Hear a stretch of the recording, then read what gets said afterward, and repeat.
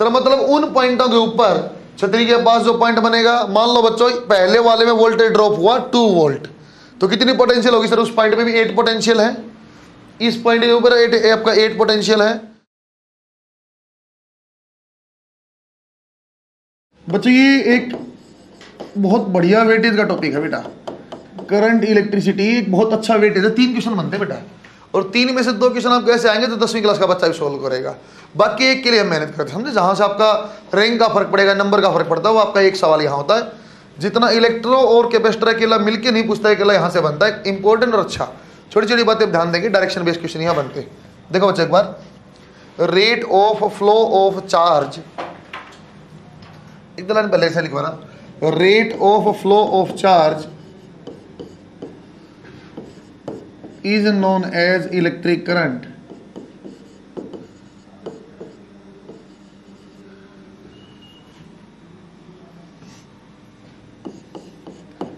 बच्चों, इसके इसलिए मैंने क्यू बाई टी बेटा मैं ऐसे कैपिटल क्यू नहीं लिखना चाहता। अब तक तो मैंने कैपिटल क्यू ऐसा मत, दिमाग में बिठा लेना सर, छोटा क्यू तो आपने डिस्ट्रीब्यूशन वाला चार्ज बोलते थे। बच्चों, मैं स्मॉल क्यू ही चार्ज को बोल रहा हूँ। अभी आपको कैपिटल क्यू में क्यों नहीं करना था? ज़्यादातर कैपिटल क्यू का यूज़ मैं हीट के लिए करता हूँ। कैपेसिटर में आपने ऐसा पढ़ा होता इसलिए मैंने लिखवा दिया है। बच्चों स्मॉल क्यू ही चार्ज है चार्ज डिवाइड बाई आपका टाइम है सेकंड में, इसका ऐसा यूनिट एम्पियर बनता है, खुद ही एक ऐसा यूनिट है। देखो बच्चों, आपको पहले समझा बेटा, जब भी आपको इंस्टेंटेनियस चेंज पूछ ले कि आपका किसी टाइम पे ये आपका फॉर्मूला बनता है इंस्टेंट वाला आपको याद है तो स्पीड के लिए मैं समझाता था बच्चों, आपको डिस्टेंस एक पॉइंट की निकाल पाना संभव नहीं होता। इसलिए पॉइंट से पहले और बाद का थोड़ा सा पॉइंट लेता इसलिए डी क्यू या डी टी ऐसा लिखा जाता था। बच्चे, कहाँ काम आएगा बेटा? यहाँ से काम आएगी, कभी कोई बोल दे। सर चार्ज जो है आपका टाइम अच्छे सुनते रहे चार्ज जो है बच्चों, आपका टाइम के साथ ऐसे वेरी करता है। आप इलेक्ट्रिक करंट की वैल्यू बताओ at T is equal to two second इस टाइप की चीज़ आपको दे दिया है। तो मैं कैसे करता? Sir D Q by D T अब सर क्यू बाई टी क्यों नहीं कर रहे? बेटा क्यू बाई टी में कर नहीं सकता क्योंकि variable charges D Q by D T करना पड़ रहा। तो क्या बन जाएगा, sir? Two T plus two ये तो अपने पास बन गए। आई की वैल्यू उसमें टी की वैल्यू कितनी है बच्चों? टी की वैल्यू है सर अपने पास टू टी की वैल्यू टू पुट करेंगे तो आई की वैल्यू आ जाएगी टू प्लस टी की वैल्यू बेटा और प्लस में टू आ जाए दैट इज़ सिक्स एम्पियर सही है क्या? एक तो सिंपल क्यू बाई टी यदि इंस्टेंटेनियस पूछना था इस टाइम पे आप बताओ क्या आता है? बच्चों D Q by D T करना पड़ेगा। आपको चेक करने के लिए बच्चा चाहे तो फिर किसी भी फॉर्म में दे सकता है कि ई e ऐसे कुछ दे देता two E power minus two T कोई दिक्कत ही नहीं है। इसका डिफ्रेंसिएशन आप जानते हो, कर लोगे आंसर भी आ जाएगा। सही है क्या? बना शाबाश। बना बच्चा आपने। देखो बेटा अच्छे से। अभी आपको लिखना नहीं। अभी मैं आपसे समझा रहा हूँ, बात तो सुनना, मैं लिखाऊँगा अच्छे से, लिखना को। आप अपनी मर्ज़ी जल्दबाजी मत करना। देखो बेटा, एक वर्ड हम पहले सुन चुके हैं। बच्चों करंट इलेक्ट्रिसिटी जो हम यहाँ पढ़े ना बेटा, हम कंडक्टर के लिए पढ़ते हैं। होता इंसुलेटर भी है सेमी कंडक्टर भी है। हम कंडक्टर के लिए पढ़ते हैं। और कंडक्टर में बच्चों बहुत सारे फ्री फ्री इलेक्ट्रॉन होते हैं। बहुत सारे फ्री इलेक्ट्रॉन दो, चार, पाँच नहीं, हज़ारों की लाखों की संख्या में। मैं उसकी बात कर रहा हूँ। यदि बच्चों अपने पास कोई कंडक्टर है, अब अच्छे सुनते हैं ना बेटा बात को अभी आपको लिखना नहीं। बेटा, उसमें इलेक्ट्रॉन है इलेक्ट्रॉन कोई ऐसे मूव कर रहा है, कोई ऐसे मूव कर रहा है, कोई कहीं भी मोशन में जा रहा है, कोई दिक्कत नहीं, ऐसे आपके इलेक्ट्रॉन है। बच्चे, यहाँ बार बार आपको लेंथ और एरिया देखना पड़ेगा। जब भी आपको फ्लो की बात आएगी ना, चाहे करंट फ्लो कर रहा हो, चाहे फ्लूड फ्लो कर रहा था, चाहे थर्मल में रेट ऑफ़ हीट फ्लो था, जब भी फ्लो आएगा तो बच्चों, आपको एल और ए ज़रूर दिखाई देगा। तो आपको देखना पड़ेगा सर लेंथ कौन सी और एरिया एरिया कौन सा? दोबारा बता रहा बच्चों लेंथ ऐसी ऐसी एल हो, ऐसे मैं बोल नहीं रहा हूँ। लेंथ का अलग से बता रहा हूँ।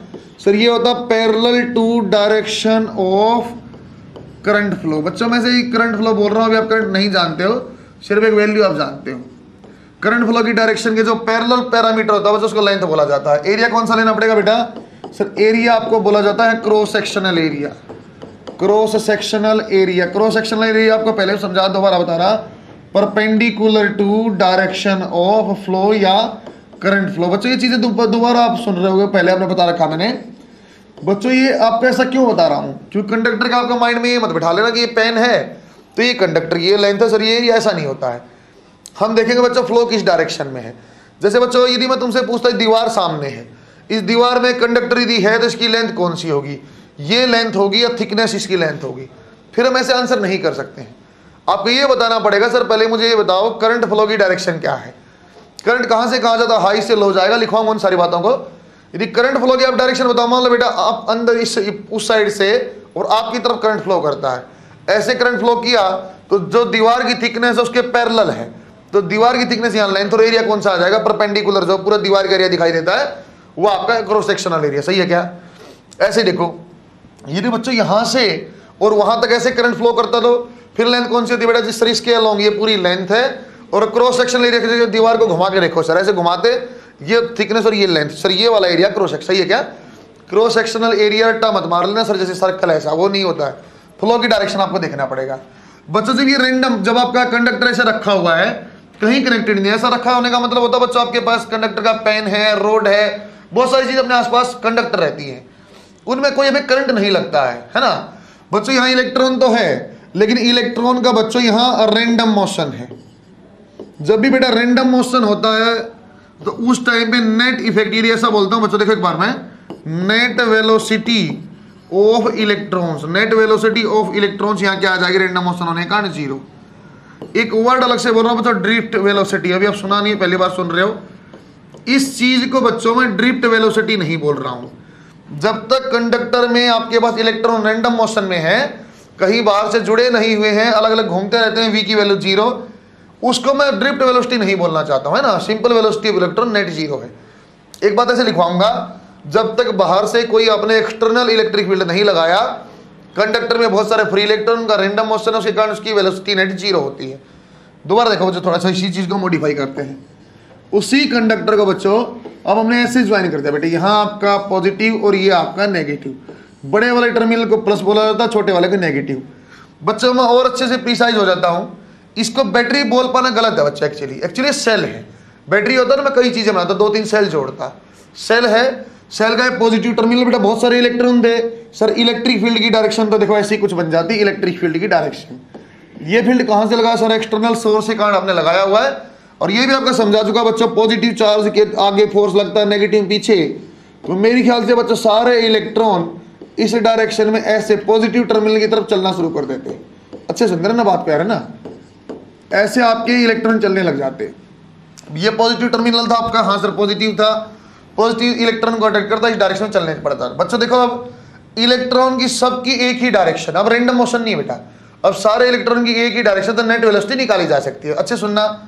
फिर बोला मैं, बच्चों यदि मैं बोलता हूँ बेटा, पहले देखो आप एक्सलरेशन क्योंकि मैंने इलेक्ट्रिक फ़ील्ड लगाया तो एक्सलरेशन में पहला सवाल ये बनता है, सर, यहाँ कॉन्स्टेंट एक्सलरेशन है या वेरिएबल है?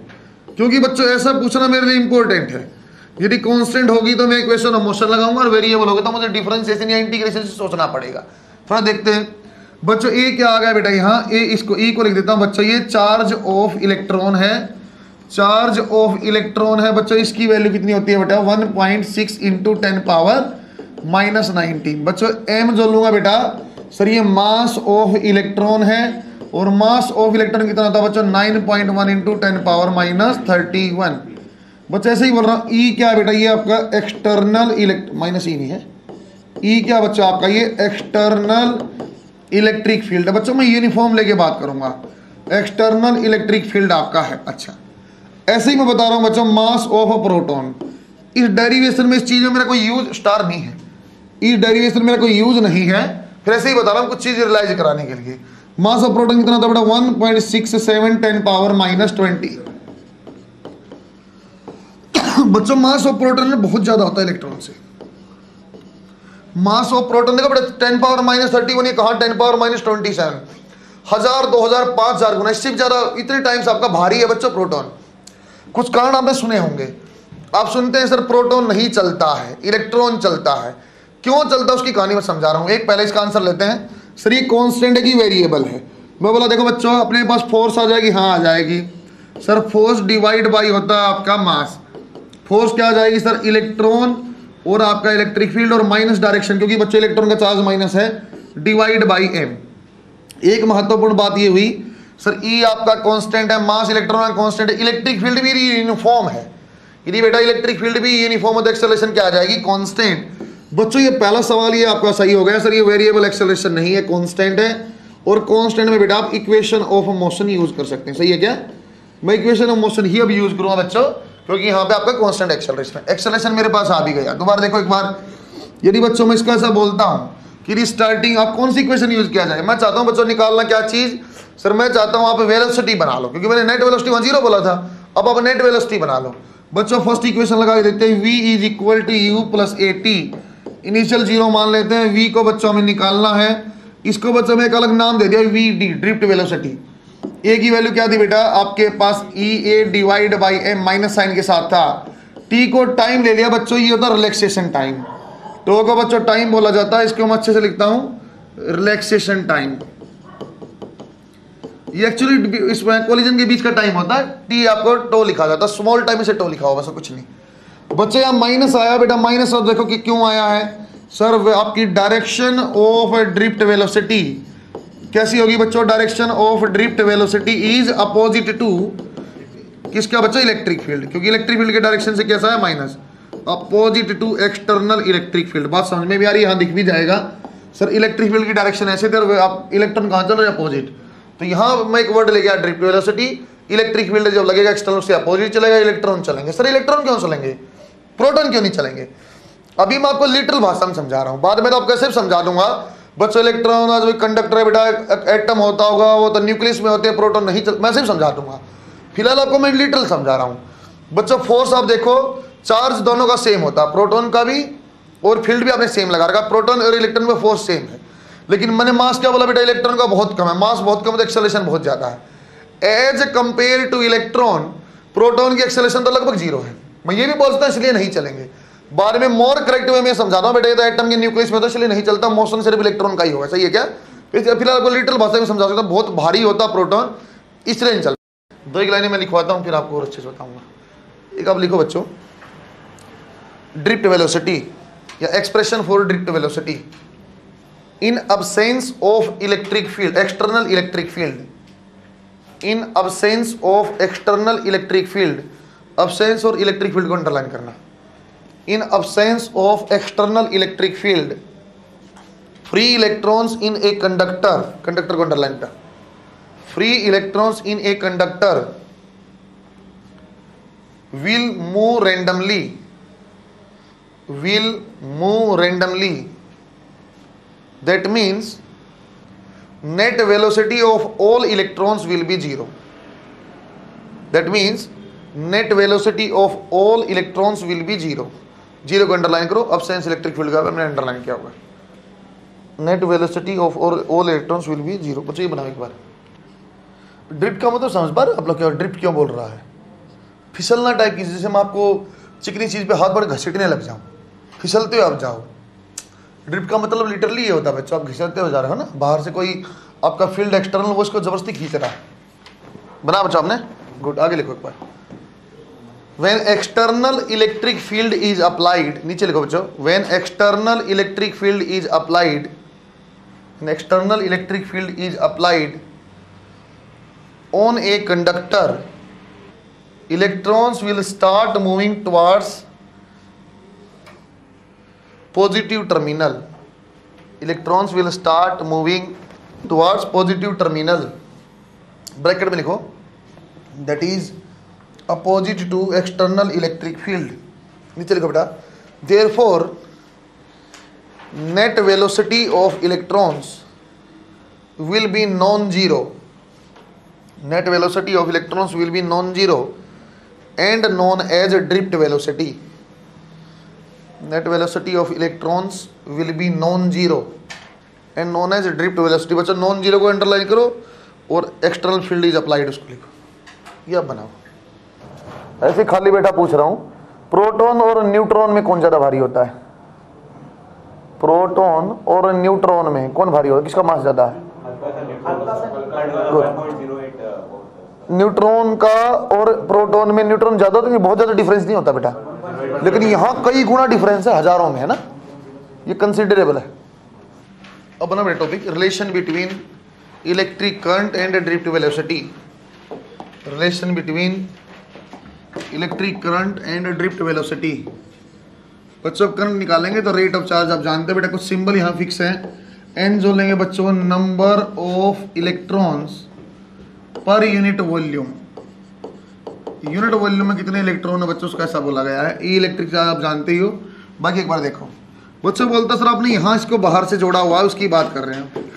वो बोलता सर, आपका कितना फ्लो अभी रेट ऑफ़ चार्ज का फ्लो हो मैं बोलता, यार अलग अलग देख पाना मुश्किल है एक छोटा सा टुकड़ा काट लेते हैं। छोटा टुकड़ा कट किया बच्चों। जिसकी लंबाई डी एक्स है और इसमें जो आपका चार्ज फ्लो होता है डी टी टाइम में फ्लो कर जाता है। तो आप फिर बताओ आई कितना देखो बच्चों, सर आई का एक ही फॉर्मूला है। आप बता दो चार्ज डिवाइड बाई टाइम कर लो आंसर निकाल लेंगे। चार्ज कैसे निकाल लो? देखो एक बार। चार्ज के लिए मैं बोलता हूँ, sir N number of electron है पर यूनिट वॉल्यूम है। वॉल्यूम में, एक यूनिट वॉल्यूम में एन इलेक्ट्रॉन है। तो मतलब चार्ज कितना होगा? तो एन इलेक्ट्रॉन है तो ई e चार्ज ले लो। सर, पूरी वॉल्यूम में है तो वॉल्यूम मल्टीप्लाई कर एरिया क्रॉस सेक्शन और लेंथ ही बच्चों, मैंने डी एक्स दोबारा अच्छे से देखो कैसे लिया मैंने चीज़ें। मैंने बोला, बच्चों एन नंबर ऑफ़ इलेक्ट्रॉन पर यूनिट वॉल्यूम। ऐसे मुझे कोई बोल दे तो दस इलेक्ट्रॉन है यूनिट वॉल्यूम में।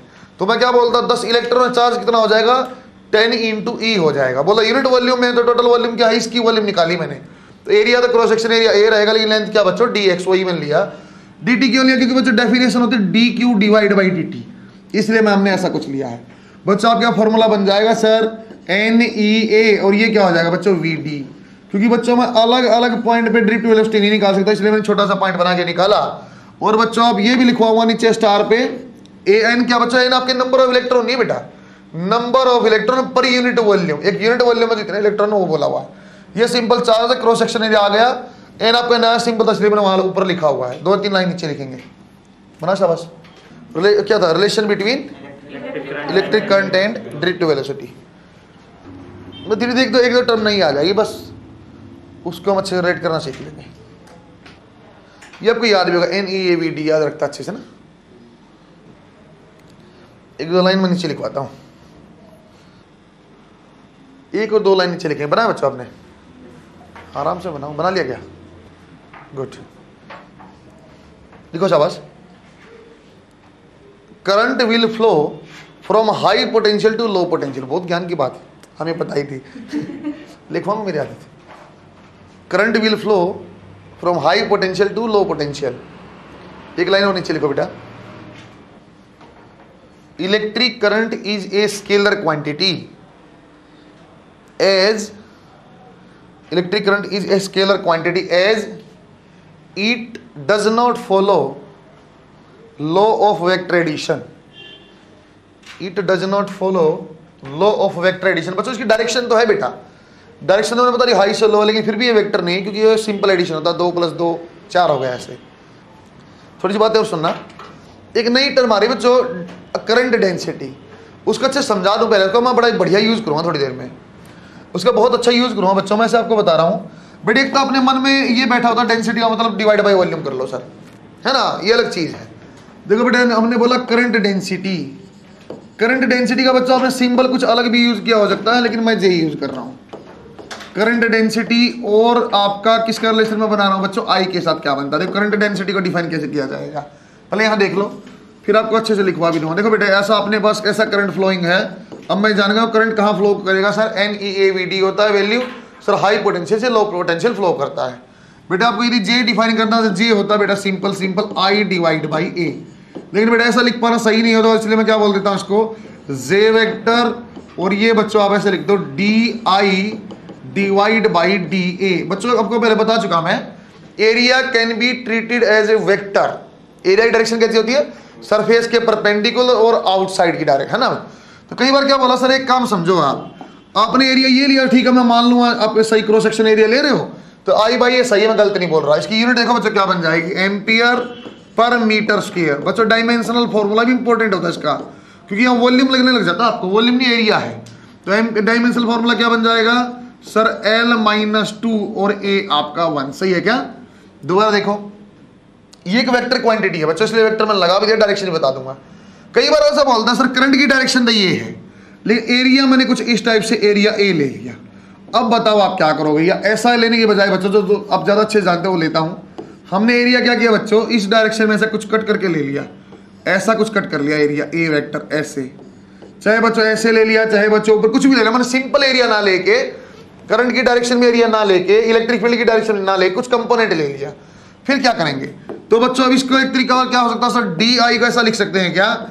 जे और आपका डी ए आ गया देखो बच्चों कंपोनेंट देखो कैसा। यदि ये थीटा तो क्या बन जाएगा बच्चों? आई की डायरेक्शन में। सर, ये डी ए कोस थीटा तो ज़्यादा अच्छा होगा इसको इस फॉर्म में लिखना और इंटीग्रेशन लगा देना, क्योंकि बच्चों डी ए तो इंटीग्रेट करना पड़ेगा पूरा करंट आपको निकालने के लिए। बच्चों, जब भी आपका कोस थीटा कंपोनेंट ये भी वेक्टर है और ये भी वेक्टर जैसा लिखा जा सकता है मेरे ख्याल से। जे डॉट डी ए और इंटीग्रेशन में। सही किया गया। इंटीग्रेशन में बहुत बड़ी चीज़ है जोड़ करना होता है, जमा करना सिंपल तो डी ए इसलिए इंटीग्रेशन बना हुआ है। तो बच्चों, आपका J is a vector quantity एक बात। इसकी direction same as that of electric field होती है, दूसरी बात। सिंपल आपको एरिया दिया तो बेटा आई डिवाइड बाई आप ए कर लो। कुछ अलग से एंगल दिया हुआ अरे आपको याद ही नहीं है। स्ट्रेस याद आपको? ऐसे फोर्स लगा है तो ये एरिया ले लिया। और यहाँ फोर्स और अब बताओ स्ट्रेस बताओ तो इसे कंपाउंड लेने पड़ते दो याद होता आपको। ऐसी कुछ चीज़ है यार। यदि एरिया आपको नहीं दिया हुआ, बेटे कुछ अलग से एरिया दे दिया, बोले ये ए है, फिर बताओ। तो ज़्यादा अच्छे से ऐसे याद करना चाहिए, sir A J dot D A कर लो। यदि अपने आप एंगल ज़ीरो होगा तो कोस ज़ीरो अपने वन आ जाए, हमें कोई दिक्कत नहीं। सही है क्या? It is a vector quantity direction same as that of electric field या बनाओ नीचे, कुछ लिखता हूँ, एक लाइन लिख के। Current density it is it is ratio of electric current to cross sectional area it is ratio of electric current to cross sectional area at a given point at a given point ये अपना नीचे important एक दो line लिखवाएँगे। यहाँ it is ratio of electric current to cross sectional area at that point at any point given point ये पूरा बनाओ, नीचे मैं एक लाइन लिखवाता हूँ। जो डायरेक्शन में अभी ऐसे बोला ना इलेक्ट्रिक फ़ील्ड वाली होती है, थोड़ी देर में प्रूफ हो जाएगी अगले स्टेप पे इसको बेटे एरिया को ऐसे भी ले सकता था तब भी कोई दिक्कत नहीं। अब ज़्यादा पॉपुलर इस फॉर्म में आप देखते हो थीटा यहाँ से ले लिया, तब भी बात कुछ नहीं है, वही का कहानी, मैं ऐसे लूँ, कैसे लूँ। हम ये जान जाएँगे आपका कंपोनेंट कैसा। है इसका यूज़ देखना बेटा, मैं कितना शानदार करूँगा थोड़ी देर में अभी। एक लाइन नीचे लिखो। It is a vector quantity it is a vector quantity having same direction as that of electric field. यहाँ देखना एक बार। बच्चों ओम्स लॉ अपने अलग अलग तरीके से पढ़ा हो सकता है। बेटा, v is equal to I R more popular कि v और i का आपका रेशियो आपका v का और i का रेशियो कांस्टेंट r होता है। थोड़ा सा अच्छे से मैं पढ़ा रहा हूँ। बच्चा कई वर्ड आए कंडक्टिविटी रजिस्टिविटी सारी चीज़ यहाँ आएँगी उसको अच्छे से वेरिएशन भी देखेंगे और कुछ इंपॉर्टेंट तरीके से मैं जे का यूज़ करता हूँ। कुछ क्वेश्चन ऐसे होते हैं, बट इसको देख के आप अंदाज़ा नहीं लगा सकते सिंपल देखो, यदि कुछ ऐसा क्वेश्चन मैं आपको दे देता, यहाँ जे या ई e है, और एक थर्टी डिग्री दिया, और इसका बताओ कंडक्टिविटी क्या है? या इसकी रजिस्टिविटी क्या है? ऐसा कुछ ग्राफ दे के इसको मैं एक लाइन में डिफाइन करूँगा, कैसा भी डेंजर सवाल आप आराम से सोल्व कर लेंगे। देखो एक बार ओम स्लो को मैं डिफाइन कर रहा हूँ पहले बस। Ratio of current density to electric field is always constant ratio of current density to electric field is always constant. And known as conductivity. एक बार यहाँ देखो बच्चों, बस। एक्चुअली बच्चों ओम्स लॉ ये होता है। Is equal to I R उसके बाद में बनाऊँगा। Ratio of current density to electric field is always constant जो बच्चों सिग्मा बनाओ ना बेटे सिग्मा इसका नाम होता है बेटे कंडक्टिविटी कंडक्टिविटी अच्छे से बात को सुनते रहना। बच्चों, अलग से मैं इसको अब रिलेट करता हूँ। कुछ कंडक्टिविटी की वैल्यू निकालते हैं, कुछ अलग, कुछ फैक्टर आएँगे फैक्टर को देखते हैं। अभी अब लिखना मत, यहाँ देखो। सर जे की वेक्टर आप जे आपने कैसा लिखा था? सर जे होता है आई डिवाइड बाई ए और आई को आपने क्या लिखा था बेटा? N E A V D अभी लिखा था ना? सर एक काम करो ए से ए को कैंसिल कर दो क्या बन जाएगा? एन ई e, और इसकी वैल्यू क्या थी बेटे? ई ई डिवाइड बाई क्या था बच्चों देखो याद करो बेटा E E divide by M और इन टू टो ऐसा ही कुछ था क्या? ये आप देखो बेटा क्या बन जाएगा sir? N E square M into tau और आपका इलेक्ट्रिक फ़ील्ड यहाँ। बच्चों मेरे ख्याल से वही चीज़ आपकी देखो बच्चों यहाँ डायरेक्शन पता चलता सेम डायरेक्शन है। कंडक्टिविटी कोई वैल्यू आएगी, दस, पाँच, दो पाँच, दो भी आना होगा। दोबारा देखो, सर, इसका मतलब क्या हुआ? यदि मैं इक्वेशन नंबर वन को और टू को कंपेयर कर लूँ इक्वेशन नंबर वन और टू को आप कंपेयर करो तो कंडक्टिविटी की वैल्यू क्या आ रही है बच्चों एक्चुअली एन ई स्केयर और टो डिवाइड बाई एम सही है क्या? कंडक्टिविटी वैल्यू क्या आ रही है? आ रही है सही है। बच्चा कंडक्टिविटी की इनवर्स एक चीज़ होती है बेटा rho that is one divide by this और इसका नाम आप जानते हैं मोर पॉपुलर वे में रजिस्टिविटी रजिस्टिविटी। बच्चों, इसको अच्छे से लिखेंगे, क्या बन जाएगा? M N E square D बच्चों फॉर्मूला अलग से याद करने की ज़रूरत नहीं बेटा। एन ई वी डी से अपने आप बन जाएगा डिवाइड बाई आप ए करोगे, अपने आप आंसर आ जाएगा। इस फॉर्म में आप जानते नहीं बच्चे, कुछ अलग फॉर्म में आप जानते हो। अब इस फॉर्म में जानते हो देखो एक बार, एक स्टेप में बना दिखाता हूँ उसको मैं। आप जानते हो बेटा ओम्स लो दूसरे तरीके से। सर, एक तरीका आपने क्या बोला? J is equal to this और इंटू ई आप ये जानते सर, ये आई डिवाइड बाई ए होता है। ये ऐसा ही होता रही है क्या था बच्चों पोटेंशियल डिवाइड बाई लेंथ है, ले तो। आप जानते बेटा वी इसकी, v is equal to I R तो v डिवाइड बाई आई क्या बन जाएगा, सुनो। V डिवाइड बाई आई क्या बन जाएगा बेटा? वन डिवाइड या l divide by rho into L आप इस चीज़ को क्या जानते हो? R होता है, इसको आपने रेजिस्टेंस बोला। याद आपको? सर, हमने तो इसको नहीं बोला। अरे या तो रेजिस्टेंस को आप l divide by rho into A बोल लो बेटा। और या फिर आपने इसको तो बोला ही होगा। अरे समझे क्या? Resistivity into L divide by इसको तो बोला होगा ना। V is equal to I R बोलो, बेटा, दो फॉर्मूले बन जाते हैं ओम्स लो के। पहला बेसिक था, J डिवाइड बाई ई हमेशा कांस्टेंट है, और उस कांस्टेंट की वैल्यू कंडक्टिविटी होती है। यदि ऐसा बनता है तो मतलब एक तरीका ये बन जाता है, sir, V is equal to I R है, या V is directly proportional to I होता है, और यही अपने पढ़ा भी है, V और I के बीच में जब भी ग्राफ आएगा स्ट्रेट लाइन आएगा सर, इसका जो भी स्लोप होगा, स्लोप होता सर टेन थीटा उसकी वैल्यू क्या आएगी? सर, वो रजिस्टेंस के बराबर है। ऐसे ही पढ़ा गया तुम लोगों ने। ऐसा हमने पढ़ा ना बच्चों? सवाल थोड़ा पूछता हूँ, उल्टा करके एग्ज़ाम्पल वो मैंने क्यों पढ़ाया आपको शुरुआत वाली चीज़? उल्टा एग्ज़ाम्पल ऐसा पूछा, बेटा, आपने पहले वाली चीज़ जानते ही नहीं हो। आप ओम्स जानते हो, बच्चों? V is equal to I R जैसे हमने रट्टा मारा हुआ है। बच्चे यदि हमें कोई क्वेश्चन ऐसे दे देता। जे का और ई e का ग्राफ दिया हुआ है। कितना सरल सा दिया हुआ है? बच्चों, ये आपका थर्टी डिग्री दिया हुआ फाइंड आउट रजिस्टिविटी बच्चों, बच्चे को ये पता ही नहीं होता, बेटा, आपने पूरा पढ़ा हुआ है। पहले पढ़ा रखा, हम पता क्या सोचते हैं? सर रजिस्टिविटी रो होती है।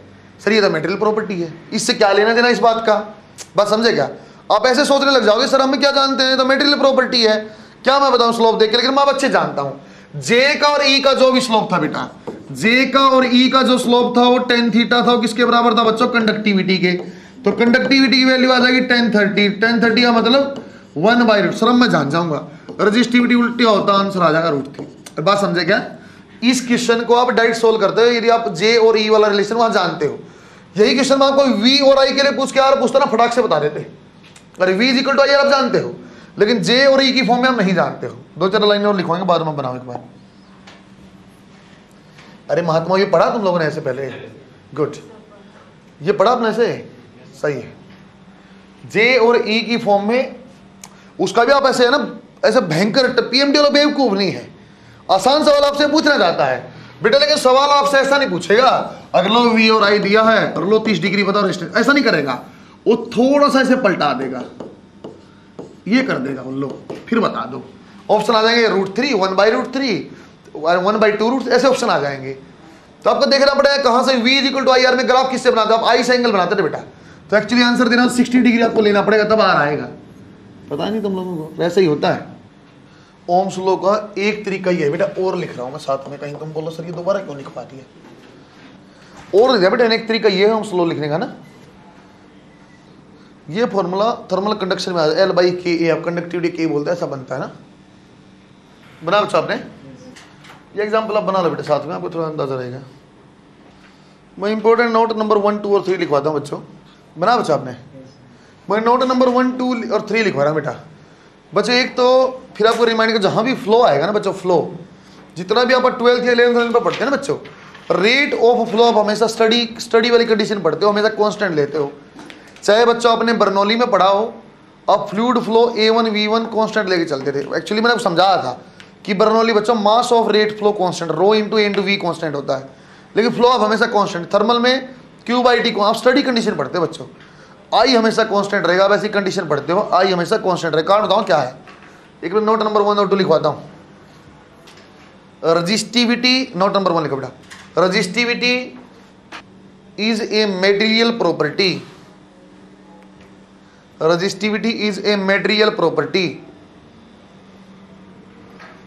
it depends only on material of conductor only depends on material of conductor bracket में से टेम्परेचर के ऊपर छोटा सा स्टार बना दो। स्टार का मतलब जैसे बुक के नीचे नहीं लिखाऊँगा ब्रैकेट में टेम्परेचर में छोटा सा स्टार बना दो। अलग समझाऊँगा टेम्परेचर के ऊपर स्टार क्या है, क्यों लिखा है। रजिस्टिविटी सिर्फ़ मेटेरियल पे डिपेंडेंट है बेटा, वैसे लास्ट में ब्रैकेट में टेम्परेचर स्टार में समझाऊँगा क्या है। नोट नंबर टू लिखो। Resistance of a conductor depends on material of conductor क्योंकि रो उसमें भी बेटा, है ना? Material of conductor comma shape and size of conductor comma shape and size of conductor बेटा एल और ए भी है तो शेप और साइज़ पे भी डिपेंड करता है। उसकी लास्ट में ब्रैकेट में टेम्परेचर लिख दो स्टार लगा के। ये टेम्परेचर वाले कहानी अलग से समझाऊँगा आपको मैं। नोट नंबर थ्री बच्चों नोट नंबर थ्री से पहले यहाँ देखो एक बार।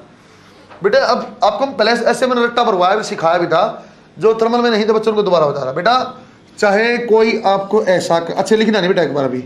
चाहे आपको कोई ऐसा कंडक्टर दे, चाहे बच्चों आपको कोई ऐसा कंडक्टर दे, चाहे बच्चों आपको कोई ऐसा कंडक्टर दे, और चाहे शकल का बहुत गंदा ऐसा कंडक्टर दे।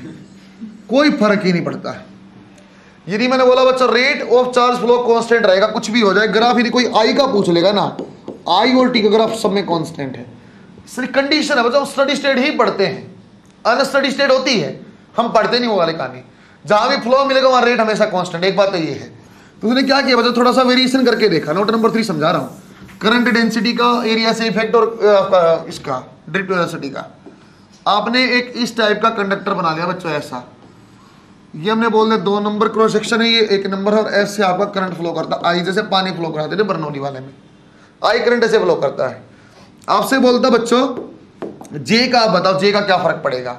यदि आपसे पूछता बच्चों करंट डेंसिटी वन की बराबर है टू से, या वन की ज़्यादा है, या बच्चों वन की कम और टू की ज़्यादा है। बच्चों उठ पटांग का सवाल है ये। इतना सरल नहीं जैसा लिखा हुआ दिख रहा है। ये आपसे पूछता बच्चा से देख के कि आप ड्रिप यूनिवर्सिटी बताओ सर, पहले वाले सेक्शन पे ज़्यादा है, या बच्चों, दूसरे वाले पे ज़्यादा है, या बेटा आपके पास, या बच्चों, आपके पास दोनों में बराबर है। ऐसे अलग अलग ऑप्शन आपसे पूछ लिए गए। कि इन सवालों का बताओ। बेटा ये वो क्वेश्चन होते हैं, सर मेरा बच्चा ऐसे सोचता है, जनरली छोटा बच्चा ऐसे सोचता है, यार इतना बेवकूफ़ तो पूछने वाला नहीं होगा, बराबर तो नहीं होना चाहिए। बच्चा ऐसे दिमाग लगाता देखो सर, पूछ रहा था, कम से कम कुछ तो दिमाग उसने लगाया, भाई ये तो नहीं होना चाहिए, कुछ अलग होना चाहिए कम या ज़्यादा मैं नहीं जानता हूँ। बोलते सिर्फ़ आपको एक लाइन याद है ना बेटा, आई चेंज नहीं होगा, कैसा भी कंडक्टर हो, आई चेंज नहीं होगा तो आंसर आ गई जे का फॉर्मूला क्या था बच्चों मोटा मोटा I divide by A constant हटा दो। Sir J inversely proportional to area किसका एरिया ज़्यादा बच्चों? क्योंकि मैं जानता हूँ ए टू की वैल्यू ज़्यादा है ए वन से, इसका मतलब क्या हो जाएगा बच्चों? ए आपका जे टू की वैल्यू क्या हो जाएगी? कम और जे वन की वैल्यू क्या हो जाएगी? ज़्यादा कौन सा ऑप्शन आ जाएगा? ये वाला। सही है क्या? दोबारा देखो। सर ड्रिप यूनिवर्सिटी के लिए करंट कैसे करते हैं N E A V D बच्चों, आपके पास हमने फिर बोला, आई तो ये हटा दो। नंबर इलेक्ट्रॉन भी चार्ज भी कांस्टेंट बच्चों, देखो ऐसी कुछ बन गई, जैसे अभी कंट्री इक्वेशन बनती थी। सही है क्या?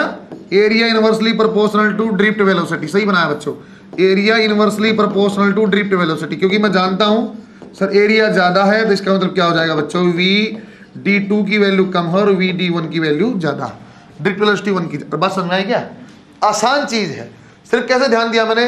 आप लिख लेना, कैसा भी कंडक्टर किसी भी शेप और साइज़ का बच्चों, कैसा भी कंडक्टर आई हमेशा कांस्टेंट आई कांस्टेंट करंट का यदि ग्राफ बनाए ना बेटा, किसी भी शेप हो, हमेशा कांस्टेंट अब वैल्यू अलग हो सकती। वैल्यू अलग अलग हो सकती दो कंडक्टर में, लेकिन आई हमेशा विद इन ए कंडक्टर कैसा होगा बच्चों? एक कांस्टेंट सही है क्या? बना था नोट नंबर थ्री में। पता नहीं यार, ये ऐसे सवाल है बच्चों, जो अब हम जानते तो हैं, लेकिन क्या उस समय क्वेश्चन से रिलेट कर पाऊँगा? ये तो मैं जानता हूँ J is equal to I by क्या उस समय क्वेश्चन से रिलेट कर पा रहा हूँ। क्वेश्चन से मैं देख के डर जाऊँगा सर जे क्या होता है? ह्यूमन बींग होगा ना? एवरेज सा बच्चा उससे ज़्यादा सा होगा। कि फॉर्मूला तो मुझे आता सर क्वेश्चन में नहीं उतार पा रहा उसको मैं। तो उसके लिए बेटा आपको ऐसे प्रैक्टिस देखना हाँ सही है भाई, अब सही है, मैं बना दूँगा ऐसा सवाल दिखेगा तो। ऐसे स्लोप वाला क्वेश्चन जब भी करो ना बेटा आप Y is equal to M X लिखा करो, वो एक्स के साथ आप एंगल लेते हो, वहाँ कई बार क्या करें, घुमा देगा बस। तो एंगल आपको ऐसे लेना जो एक्स बना हो उसके साथ लेना। है जो स्टार में टेम्परेचर लिखा है उसका मतलब समझा रहा हूँ। यदि ऑप्शन में टेम्परेचर भी है तो आपको लेना बेटा ऑप्शन में जनरली देता नहीं है। ऐसे रहेगा, जैसे रजिस्टिविटी किस पर डिपेंड करेगी? आपका लेंथ पे एरिया पे मेटेरियल पे या सब पे। तो रजिस्टिविटी सिर्फ़ डिपेंड करेगी मेटेरियल पे।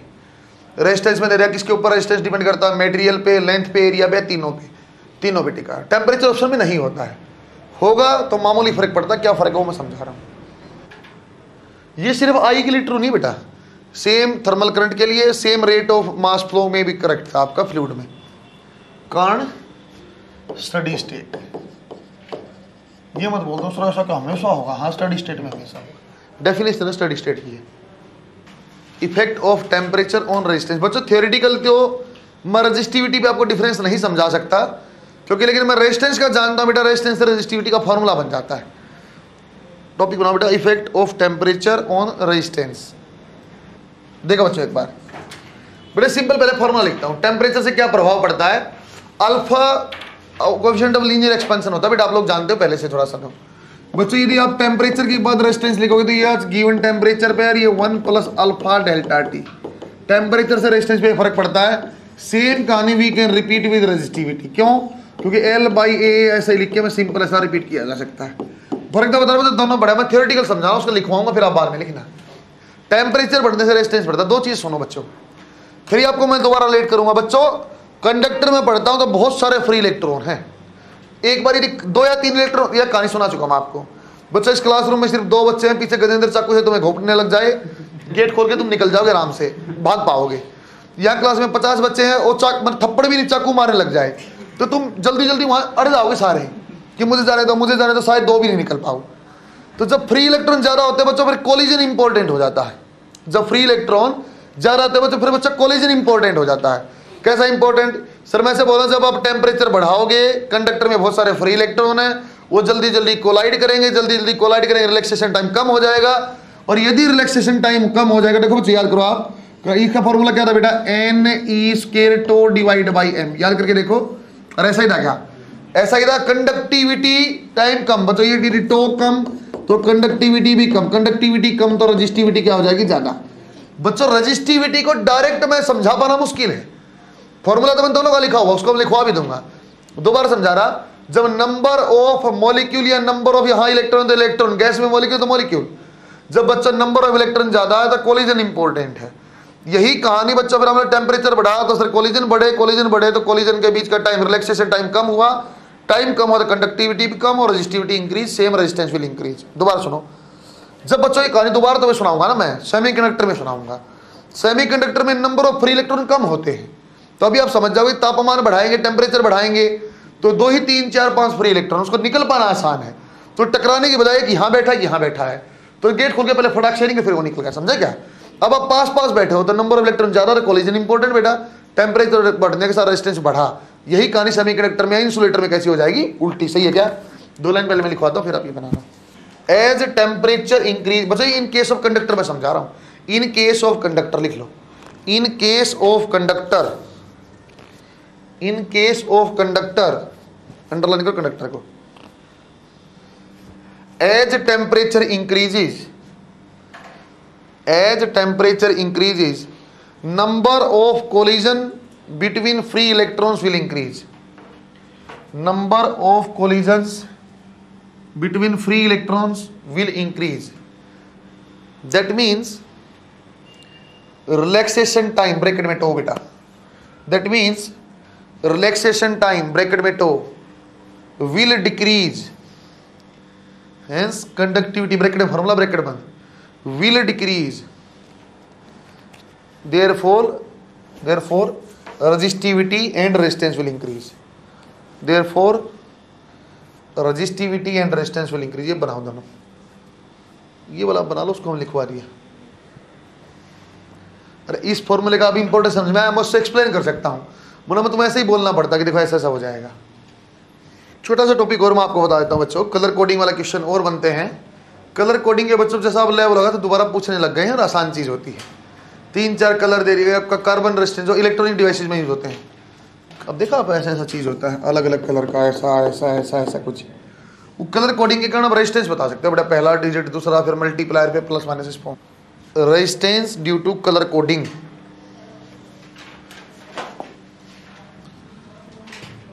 अलग अलग लाइन से सुनते हैं, बट इसको ऐसे बोलते हैं, बी बी रोय है ना? ग्रेट ब्रिटिश अब स्पेलिंग तो मेरी ऐसी है वेरी गुड वाइफ ऐसे। अलग अलग नियम है कोई कैसे भी लिख रहा है इसको। बच्चों बी को बोला जाता बेटा ब्लैक मेरी तरफ़ क्या देख रहे हो? इतना ब्लैक नहीं हो। ब्राउन आर को बोलते बच्चों रेड ओ को बोलते बेटा ऑरेंज याद करना पड़ेगा सीरीज़ आपको। याद है क्या? नहीं होशियार छोड़े हो भाई इसका मतलब बेटा ग्रीन वो सच में होशियार हो गए तुम, तुमने मज़ाक मार रहे थे। जगह नहीं बची, वो अलर्ट तो ठीक है। टेंशन अगली है। ग्रे ग्रे बेटे। लास्ट में ग्रीन आ गया ना। ये वाइट ये मेरे जैसा। White zero one two three four five six seven eight और नाइन तो फिर अटक गया वाइज कहानी यहाँ मल्टीप्लायर आएगा बेटा। मल्टीप्लायर फिर ten power zero ten power one same कहानी चलता रहेगा आगे। Ten power two ten power three ten power four ten power five, ऐसे ही बच्चों, लास्ट तक आप ले जाओगे टेन पावर नाइन तक। ले जाना, है ना? और बच्चों, ये ये क्या बेटा, आपका कलर से पहली डिजिट बेटा, फिर दूसरे कलर से दूसरी डिजिट लिख देता हूँ। कुछ ऐसा लिखता है, बच्चों, ऐसा लिख रहा हूँ। कलर फ़र्स्ट कलर आए सेकंड आए थर्ड कलर होगा बच्चों तो यहाँ आपका आएगा फ़र्स्ट डिजिट बेटा। यार तुम लिख ही लोगे। गोल्ड में गोल्ड में प्लस माइनस फाइव सिल्वर कहीं रखा टॉलरेंस है बच्चों plus minus ten no colour कोई कलर ही नहीं लिखा हुआ। नो कलर वहाँ आएगा बेटा प्लस माइनस ट्वेंटी ये होता बच्चा टॉलरेंस टॉलरेंस जैसे झेलना मतलब। बच्चों, ऐसा लिखा जाता बेटा, जैसे हमें ऐसे ही मैं रैंडम लिख के दिखाता हूँ। बच्चों, एक, दो, तीन कलर चौथा ऐसे बोला एक, दो, तीन कलर दे रहे फिर कुछ भी आपको गोल्ड या सिल्वर जैसे ऐसे ही बोल रहे हैं। एग्ज़ाम्पल जैसे मैं बोलता हूँ, बच्चों रेड है ना, ऐसे ही बोल रहा हूँ, बच्चों ग्रे और बोल दिया बच्चों, यहाँ पे ब्राउन ऐसा आपको लिखा और बाद में बोल दिया तो चौथा कलर दिया नहीं बेटा।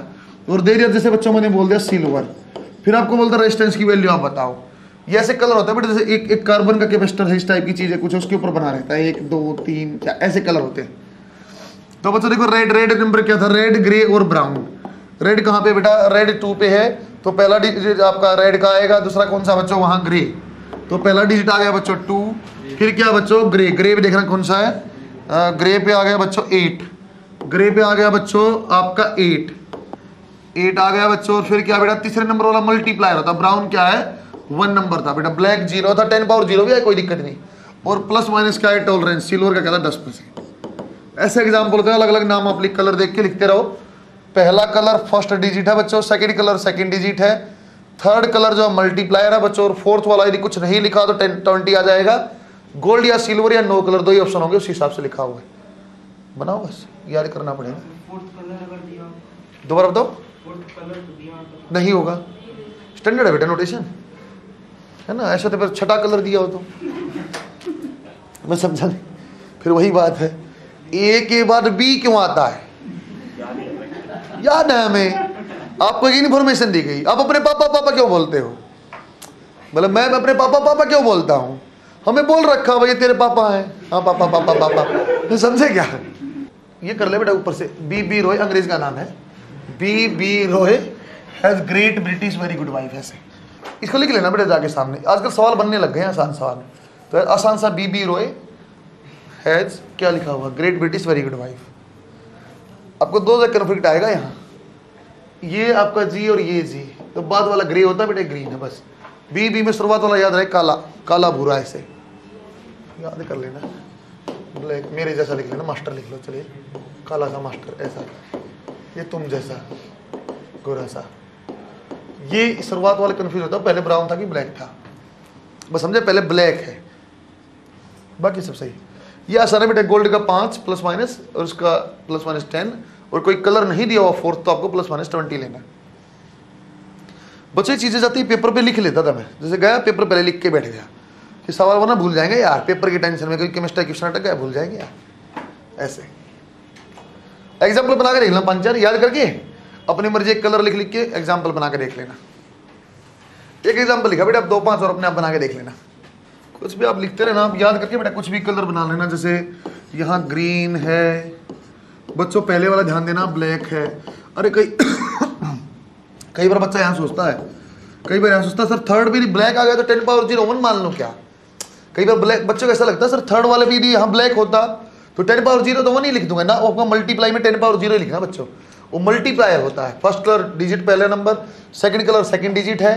थर्ड कलर मल्टीप्लायर को मल्टीप्लाई की फॉर्म में लिखना पड़ेगा। फिर आपका यदि यहाँ कुछ नहीं लिखा हो तो प्लस माइनस ट्वेंटी जाएगा यहाँ। उस कलर होगा तो गोल्ड या सिल्वर ही होगा। टोपी लिख के छोड़ दो कॉम्बिनेशन ऑफ़ रजिस्टर्स पहले कॉम्बिनेशन देखते देखो बेटा एक बार।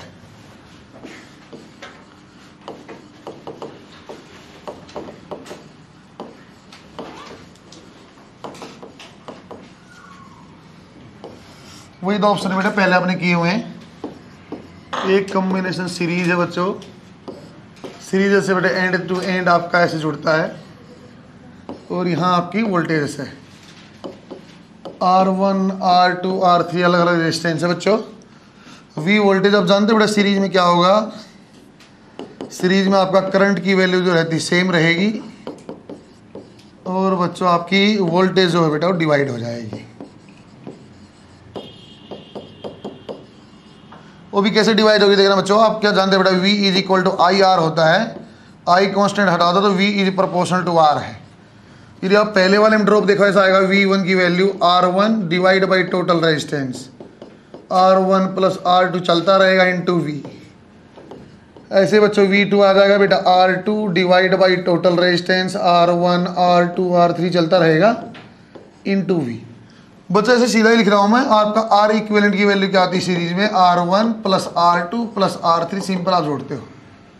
दोबारा देखो बेटा एक कॉम्बिनेशन होता बच्चों पैरेलल कॉम्बिनेशन पैरेलल में क्या होता था सर, एक एंड आपके सारे एक साथ जुड़ेंगे. जैसे यहाँ पे ये यह आपका आर वन यहाँ पे बच्चों दूसरा आपका आर टू और तीसरा बच्चों यहाँ आर थ्री सबके एक साइड के एंड एक तरफ़ जुड़े हुए हैं, बाकी दूसरी साइड के सेकेंड एंड पे.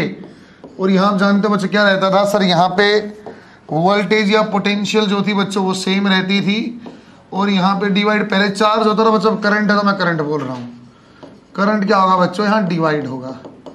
अपने जो घरों में कनेक्शन होते हैं बच्चों पैरेलल में ही रहते हैं, वहाँ वोल्टेज आप सेम रहते हो। जो अपने घरों में है बच्चों, वो आपका पैरेलल कम्बिनेशन ही रहता है। दोबारा देखो। हमने खुद ही बोला बच्चों, यहाँ क्या लिखा जा सकता है? आपने V सेम है तो ऐसा लिख देता बेटा, V is equal to I R था। V is equal to I R होता था, हमने क्या लिखा बच्चों? सर टोटल करंट को ऐसा डिवाइड किया जा सकता है I one plus I two plus I three इसकी ज़रिए देता हूँ बच्चों V divide by R equivalent या जाएगा V divide by R one या जाएगा बेटा V divide by R two ऐसे चलता रहेगा। वी से वी सब कैंसल तो वन बाई आर इक्विवेलेंट क्या आ जाएगा?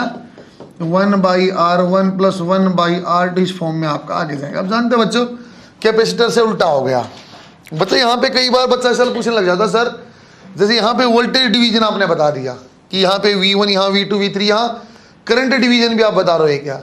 बच्चा करंट डिवीज़न का एस तो मैं फॉर्मूला तो बना दूँगा, लेकिन वो दो रजिस्टर के लिए वैलिड है।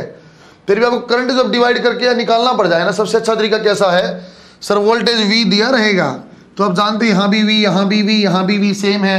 यदि वी आ जाएगा तो बच्चों आई आर से आपके पास अपने आप आई वी आई जाएगा। सही है क्या? आई की वैल्यू क्या V divide by R three V divide ऐसे निकाल देंगे उसको डिवीज़न की बजाय। फिर भी बच्चों फॉर्मूला यदि आप देखना चाहते हो आप देखो बेटा क्या था? V is equal to I R क्योंकि मैं जानता हूँ बच्चों आपका वी कॉन्स्टेंट है। तो i और r इनवर्सली प्रोपोर्शनल है तो ऐसा लिखा जाता है बच्चों। आई वन आप लिखोगे तो R two divide by R one plus R two और ये टोटल करंट बच्चों, इस फॉर्म में करना नहीं है। दो में है तो तीन में यहाँ दिक्कत आने लग जाएगी। ये आपका क्या आ जाएगा? R one divide by R one plus R two लिख दिया, लेकिन लिख के मैंने स्पेशल काट दिया, इसको ऐसे यूज़ नहीं करना है। जब भी करंट आपसे पूछा ना, बेटा, आप आई वन या आई टू बताओ। तो बेस्ट तरीका क्या है सर टोटल करंट आपने निकाल लिया वी आप जानते हो। सारा वी सेम है वी डिवाइड बाई आप आर करते हो अपने आप आई की वैल्यू आएगी। सही है क्या? बनाओ शाबाश। बच्चों आज मैं आपको simple R equivalent resistance base के सवाल कराऊँगा। फिर एक दिन मैं आपको सिर्फ़ के V L K C L पढ़ाता रहूँगा, बच्चों, ऐसे है ना? तो किसी का डिवीज़न बनता बच्चों जैसे बेसिक वाले सवाल, जैसे मैं आज कराऊँगा, वो वाले। एक बार K V L K C L वाले। एक बच्चों पावर डेसिपेशन या करंट वाले, आपके बल्ब वगैरह वाले। और लास्ट में आपके आते हैं जो अपना सिंपल पोटेंशियोमीटर तीन चार टाइप में डिवीज़न है। बीच में से कभी क्वेश्चन नहीं करता, कई बार यहाँ से पूछता, शुरुआत वाले से, कई बार बच्चों आपका लास्ट से पूछ लेता पोटेंशियोमीटर से। तीन सवाल यहाँ बनते इंपॉर्टेंट चैप्टर अपने लिए? घरों में ये लाइट यूज़ होती है, इस टाइप से कनेक्शन घरों, घर होम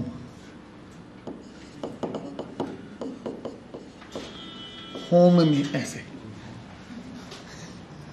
बच्चों, में एक पहले टाइप का सवाल पूछता बेटा, है ना? बच्चों आपको स्ट्रेच वाला क्वेश्चन आराम से पहले करवाता हूँ। तीन चार टाइप के वेरिएशन करा के उसको स्टैंडर्ड रिज़ल्ट में मैं बना दूँगा। वो रिज़ल्ट अपना इस चैप्टर का पहला लर्न में चला जाएगा, इसको हम सीधा याद भी करेंगे। इस टाइप की चीज़ पहले कंडक्शन में हो चुकी, दोबारा याद आएगा। देखो बच्चे, एक बार क्वेश्चन हम बनाए बच्चों आपने? हाँ बनाओ आराम से। क्वेश्चन करते बेटा, अच्छे अच्छे। देखो पहले आसान से क्वेश्चन शुरू करते हैं। देखिए एक बार। Length of a conductor is stressed to stretch को underline length of a conductor is stressed to double of its initial length stressed to को अंडरलाइन करो।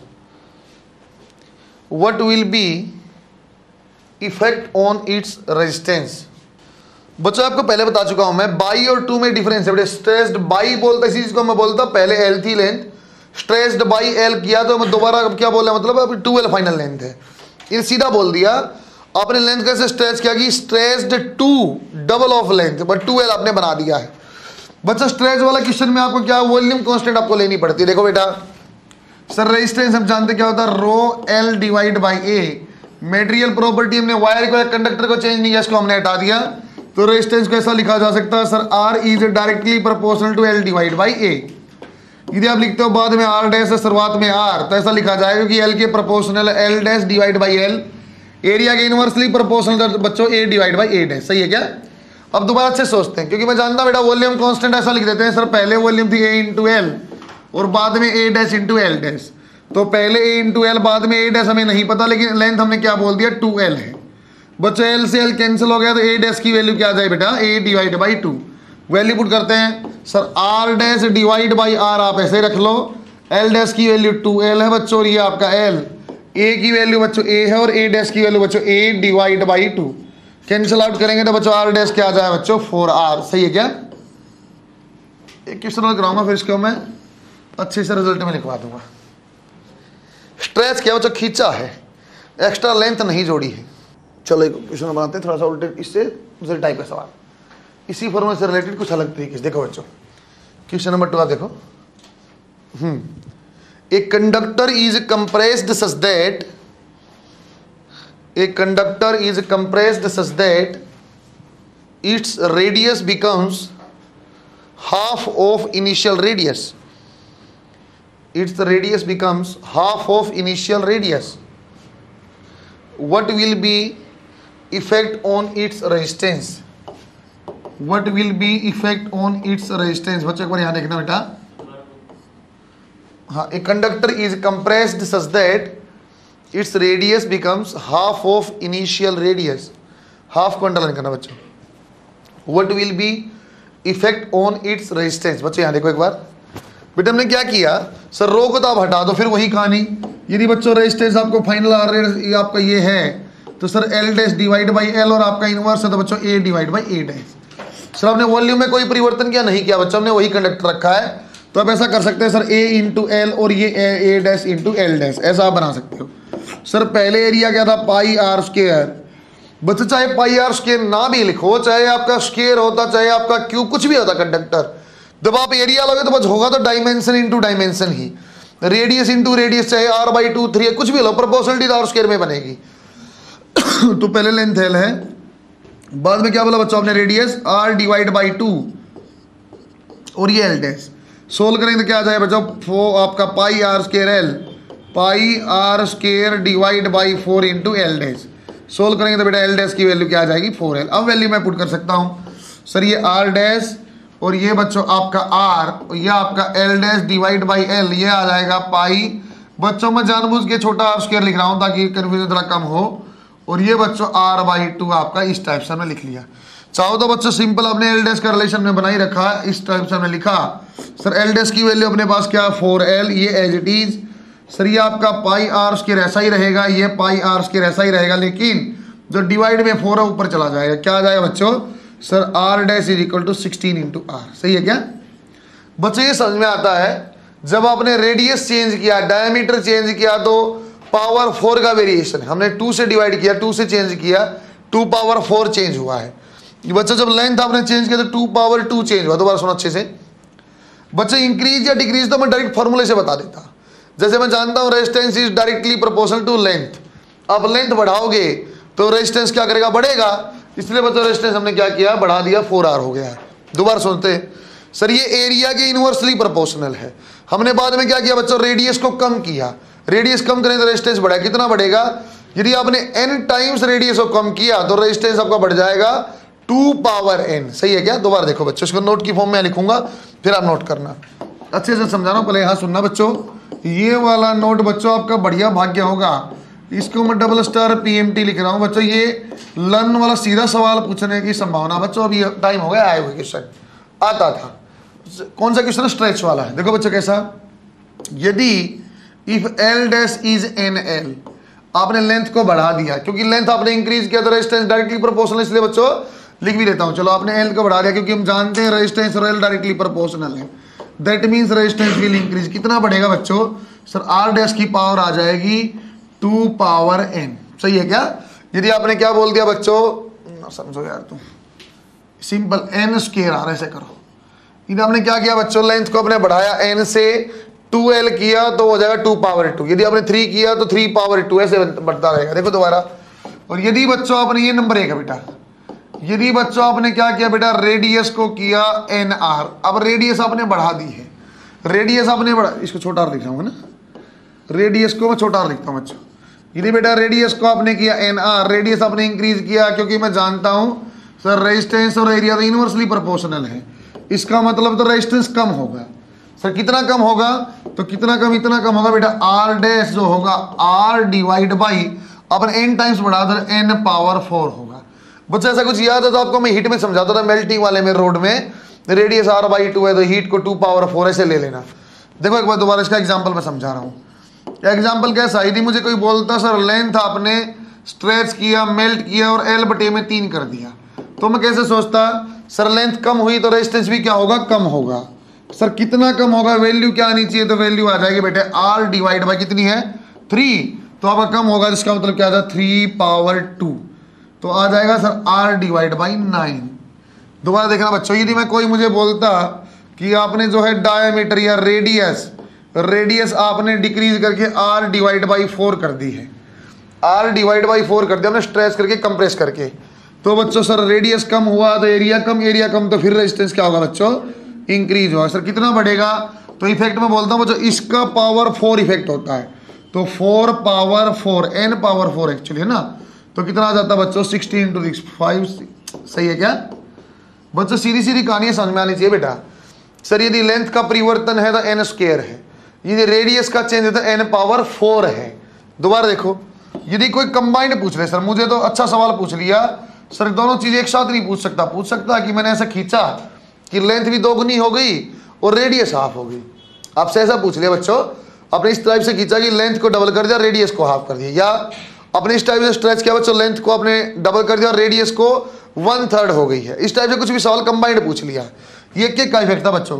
यदि मुझे कोई ऐसा क्वेश्चन पूछता, बच्चों, कि लेंथ को आपने कर दिया है टू एल और रेडियस हो गई है आपकी रेडियस आपकी हो गई है आर डिवाइड बाई टू फिर आप बताओ सर कंबाइंड इफ़ेक्ट में कैसे रेजिस्टेंस आप देखते देखो मैं कैसे करता हूँ। बच्चों लेंथ से तो मैं जानता हूँ सर लेंथ बढ़ती सर लेंथ बढ़ती तो रेजिस्टेंस बढ़ता। कितना बढ़ता? एन स्केयर एन मानी टू स्केयर सर ये रेजिस्टेंस बढ़ता। सही है क्या?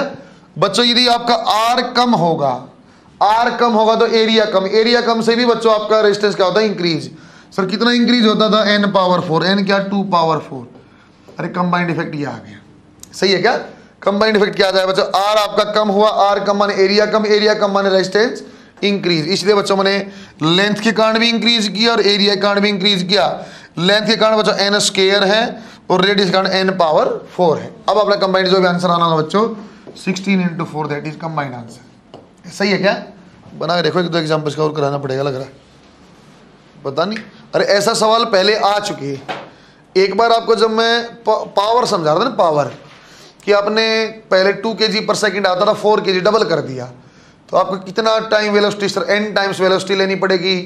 N square times force use करना पड़ेगा और पावर एन क्यूब लेना पड़ेगा। याद होता आपको। ये सारे क्वेश्चन में स्ट्रेच वाले कराए बेटा।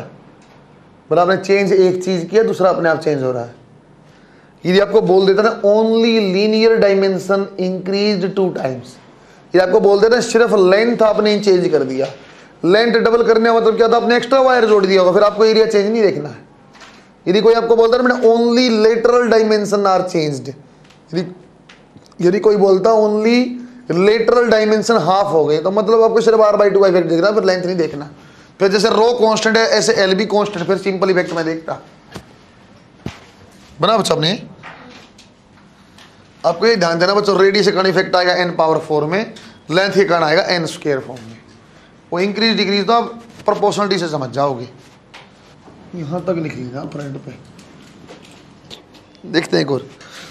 बच्चों सिंपल एन टाइम्स का तो मैंने ऐसा बात किया बेटा हाफ़ डबल ट्रिपल इस टाइप की बातें। हैं कई बार आपसे परसेंटेज चेंज पूछता है बच्चों। परसेंटेज देने में दो संभावनाएँ बनती हैं। टेन ट्वेंटी आपका इस टाइप का परसेंटेज पूछा एक दो तीन परसेंट पूछूँ। तो बच्चों दोनों टाइप का सवाल मैं करवाता हूँ। ज़्यादातर आपको स्ट्रेचिंग वाले में लेंथ का क्वेश्चन पूछा जाता है बच्चों में लेंथ की फॉर्म में आपको समझा रहा हूँ। देखो एक बार। If length of a conductor सवाल बनेगा बच्चा, इस बार सीधे नोट पे मेरे ख्याल से जो आपने लिखा है। If length of a conductor is increase by twenty percent what will be effect on on stretching आप लिखो। Length increase by twenty percent on stretching on stretching what will be effect on its resistance? फिर बच्चों ऐसे ही solve करेंगे हम तो sir rho L by A sir stretching word आया तो उसको अंडरलाइन करो, बट इंक्रीज वाई आया, उसको भी आप अंडरलाइन करो।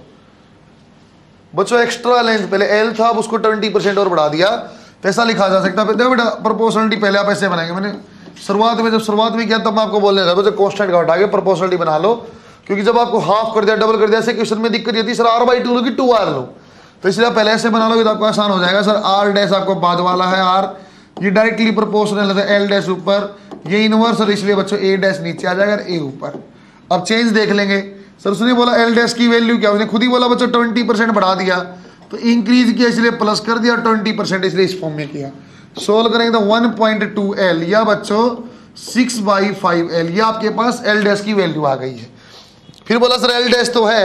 एरिया के बारे में आप कैसे बताओगे? तो एरिया के बारे में देखने के लिए फिर वही कहानी बेटा, आप आप वॉल्यूम कांस्टेंट ले लो ए डैश एल डैश तो कैसे लिखेंगे पहले आपका ये था, बाद में एरिया आपको नहीं पता, लेकिन लेंथ कितना बच्चों, इस फॉर्म में है। तो ए डैश की वैल्यू भी आ जाएगी five divide by six A बच्चा पुट करेंगे वैल्यू तो क्या आ जाएगी बेटा? सिक्स बाई फाइव एल और एल ये आ जाएगी बच्चा आपका ए एच इट इज़ और ये आपका फाइव और ये आपका सिक्स ऊपर चला जाएगा। और R dash divide by R जब आप फाइनली सोल्व करेंगे तो R dash we can write as thirty six divide by twenty five R. और इसको ऐसा लिखा जा रहा है, बेटा, वन पॉइंट फोर फोर। बच्चों, वन पॉइंट फोर फोर का मैं ऐसा लिख देता हूँ, बेटा, one plus zero point four four को इस टाइप से हम लिख देते अरे, हम इससे क्या बताना चाहता हूँ बच्चों? मैं पहली बात ये बताना चाहता हूँ, सर, प्लस आया था इंक्रीज बाई या फोर्टी फोर आया था, forty four percent. Increase by forty four percent, ऐसे मैं बोलना चाहता हूँ। ऐसे कितने बच्चे हैं बच्चों जो इस बात को नहीं समझ पाए? तो वन पॉइंट फोर फोर को मैंने ऐसे कैसे लिख दिया है? अरे, वही चीज़ है। एक स्टेप और बना देता हूँ। वन पॉइंट फोर को ऐसा लिखा बच्चों, मैंने one plus zero point four four R और बच्चों, इसको ऐसा लिख देता हूँ वन ऐसा ऐसा ज़ीरो पॉइंट फोर फोर को बेटा ऐसे। सही है क्या? अब सही है। बना शाबाश। सेम सवाल कहाँ बन सकते थे? थर्मल कंडक्टर में, है ना? वहाँ भी सेम फॉर्मूला था एल बाई के यहाँ भी रेजिस्टिविटी आप कॉन्स्टेंट ले वहाँ के कॉन्स्टेंट आ जाता। सेम सवाल वहाँ भी बन सकते थे। लेकिन वहाँ हम स्ट्रेच करते नहीं है, यहाँ वायर है हम स्ट्रेचिंग करते हैं। इसलिए वहाँ स्ट्रेचिंग वाला सवाल नहीं बने मेल्टिंग वाला बना था। एक एक लेस वेरिएशन सवाल भी कराता हूँ। आपसे इंक्रीज डिक्रीज में पूछता बच्चों क्वेश्चन की, एक परसेंट आपने इंक्रीज किया डिक्रीज ऐसे कुछ बताओ। सवाल मैं करवाता हूँ बच्चों, ये वो थोड़ा सा वेरिएशन करेंगे, ये तो आपका एक आसान है ही। पहले वाला मुझे याद है, सर लेंथ चेंज करेंगे तो एन स्केयर है और रेडियस चेंज करेंगे तो एन पावर फोर है। इंक्रीज या डिक्रीज या डिवाइड में मल्टीप्लाई में आएगा तो मैं प्रोपोर्शनलिटी से देख लूँगा। यदि कोई मुझे बोलते ना, अपने अपने रेडियस को फाइव आर कर दिया तो मैं कैसे सोचता? सर रेडियस आपने बढ़ा दिया तो एरिया आपने बढ़ा दिया। सर एरिया बढ़ा दिया तो अपने रेजिस्टेंस घटा दिया। तो आर डिवाइड बाई आता फाइव पावर फोर सही है क्या? यदि मैं कोई मुझे बोलता है बेटा लेंथ को आपने एल डिवाइड बाई फोर कर दिया। तो मैं जानता हूँ कि आपका एन क्या फोर तो फोर स्क्र आंसर आएगा। लेकिन ये मतलब डिवाइड में ही मल्टीप्लाई में। उसको मैं कैसे सोचता? सर लेंथ के डायरेक्टली प्रपोजल लेंथ आपने कम किया तो आर भी कम होगा। इस टाइप से सोचता उसको, है एक क्वेश्चन और देखते हैं आसान सा। देखिए बेटा if length of a conductor is stressed by 1% what will be effect on its resistance? बच्चों इंक्रीज और डिक्रीज में ऑप्शन आते हैं, जैसे minus one plus one minus two plus two ऐसे option what will be effect on its resistance बच्चों decrease increase की form में पूछता है प्लस माइनस में ऑप्शन आ जाते हैं. सबसे पहले देखो बच्चों, इस टाइप के फॉर्मूले में कैसा लगेगा? सर जब आपका लेस देन फाइव परसेंट होता है ना, जब बच्चों आपका लेस देन फाइव परसेंट वाली बात है तो फिर बच्चों हम जानते हैं वाई यदि प्रपोजल टू एक्स क्यूब है तो परसेंटेज वाई को थ्री इंटू परसेंटेज एक्स ऐसा लिखा जा सकता है। ये कहाँ से आया बच्चों? यूनिट डायमेंशन में ऐसे जानते हैं और ये ऐसे बनता है। ठीक, अगली बात और। बच्चों, जब यूनिट डायमेंशन लगेगा ना या एन स्केयर और एन पावर फोर वाले फॉर्मूले वैलिड है। यहाँ वो वाले फॉर्मूले डायरेक्ट वैलिड है बेटा। थोड़ा और सोचते हैं अच्छे से। सर, कैसे वैलिड हो? दिखा भी दूँगा कैसे वैलिड है। फ़िलहाल मैं ऐसे ही बता रहा आपको वैलिड है। कैसे वैलिड है समझा रहा हूँ। पहले आंसर करना सीख लो। हमने क्या बोला बेटा? लेंथ को कितना डिक्रीज इंक्रीज किया है? Two percent one percent sir one आपने लेंथ को इंक्रीज किया। लेंथ को इंक्रीज करेंगे तो रेजिस्टेंस क्या होना चाहिए? इंक्रीज या डिक्रीज सर लेंथ के रेजिस्टेंस डायरेक्टली प्रोपोर्शनल क्या होना चाहिए? इंक्रीज होना चाहिए। सर लेंथ में परिवर्तन होने के क्या इफ़ेक्ट होता है एन स्क्र तो एन स्क्र का मतलब टू आगे लिया इंटू एन तो two into one percent answer आएगा टू परसेंट इंक्रीज देखो बच्चों कैसे बना होगा। बच्चों रेजिस्टेंस का फॉर्म होता है बेटा रो एल बाई ए क्योंकि मैं जानता हूँ बेटा मुझे प्रोपोर्शनलिटी बनानी है। मैं जानता हूँ लेस देन फाइव परसेंट में प्रोपोर्शनलिटी बनानी है। तो एक ही बात संभव मुझे नज़र आती है आप इसको एक काम कर लो एल से मल्टीप्लाई डिवाइड करो ताकि ये भी कांस्टेंट बन जाए। अरे सिर्फ़ एक चीज़ वेरिएशन दिखाई दे। मुझे एल से वेरिएशन देखना चाहता हूँ। सिर्फ़ एल से वेरिएशन दिखाई दे। तो नीचे भी आपने एल मल्टीप्लाई किया, ऊपर भी एल मल्टीप्लाई किया। तो क्या बन जाए बेटा? रेजिस्टेंस ये रो एज इट इज़ ऊपर एल स्केयर और ये वॉल्यूम और आप जानते हो बच्चों, चाहे स्ट्रेचिंग हो, चाहे मेल्टिंग ये आपका वॉल्यूम कांस्टेंट और ये तो मेटेरियल प्रॉपर्टी कोई दिक्कत नहीं। मेरे ख्याल से आंसर वही बन जाएगा बच्चों। R is proportional to L square that is percentage R is two times of percentage L two into one that is answer your two percent ऐसा ही है क्या? बच्चों उल्टा भी सोच सकते थे। आप उल्टा भी सोच सकते थे। यदि सर उल्टा कैसे सोचते? सर, वो रेडियस वाला इफ़ेक्ट आप बता सकते हो क्या यहाँ।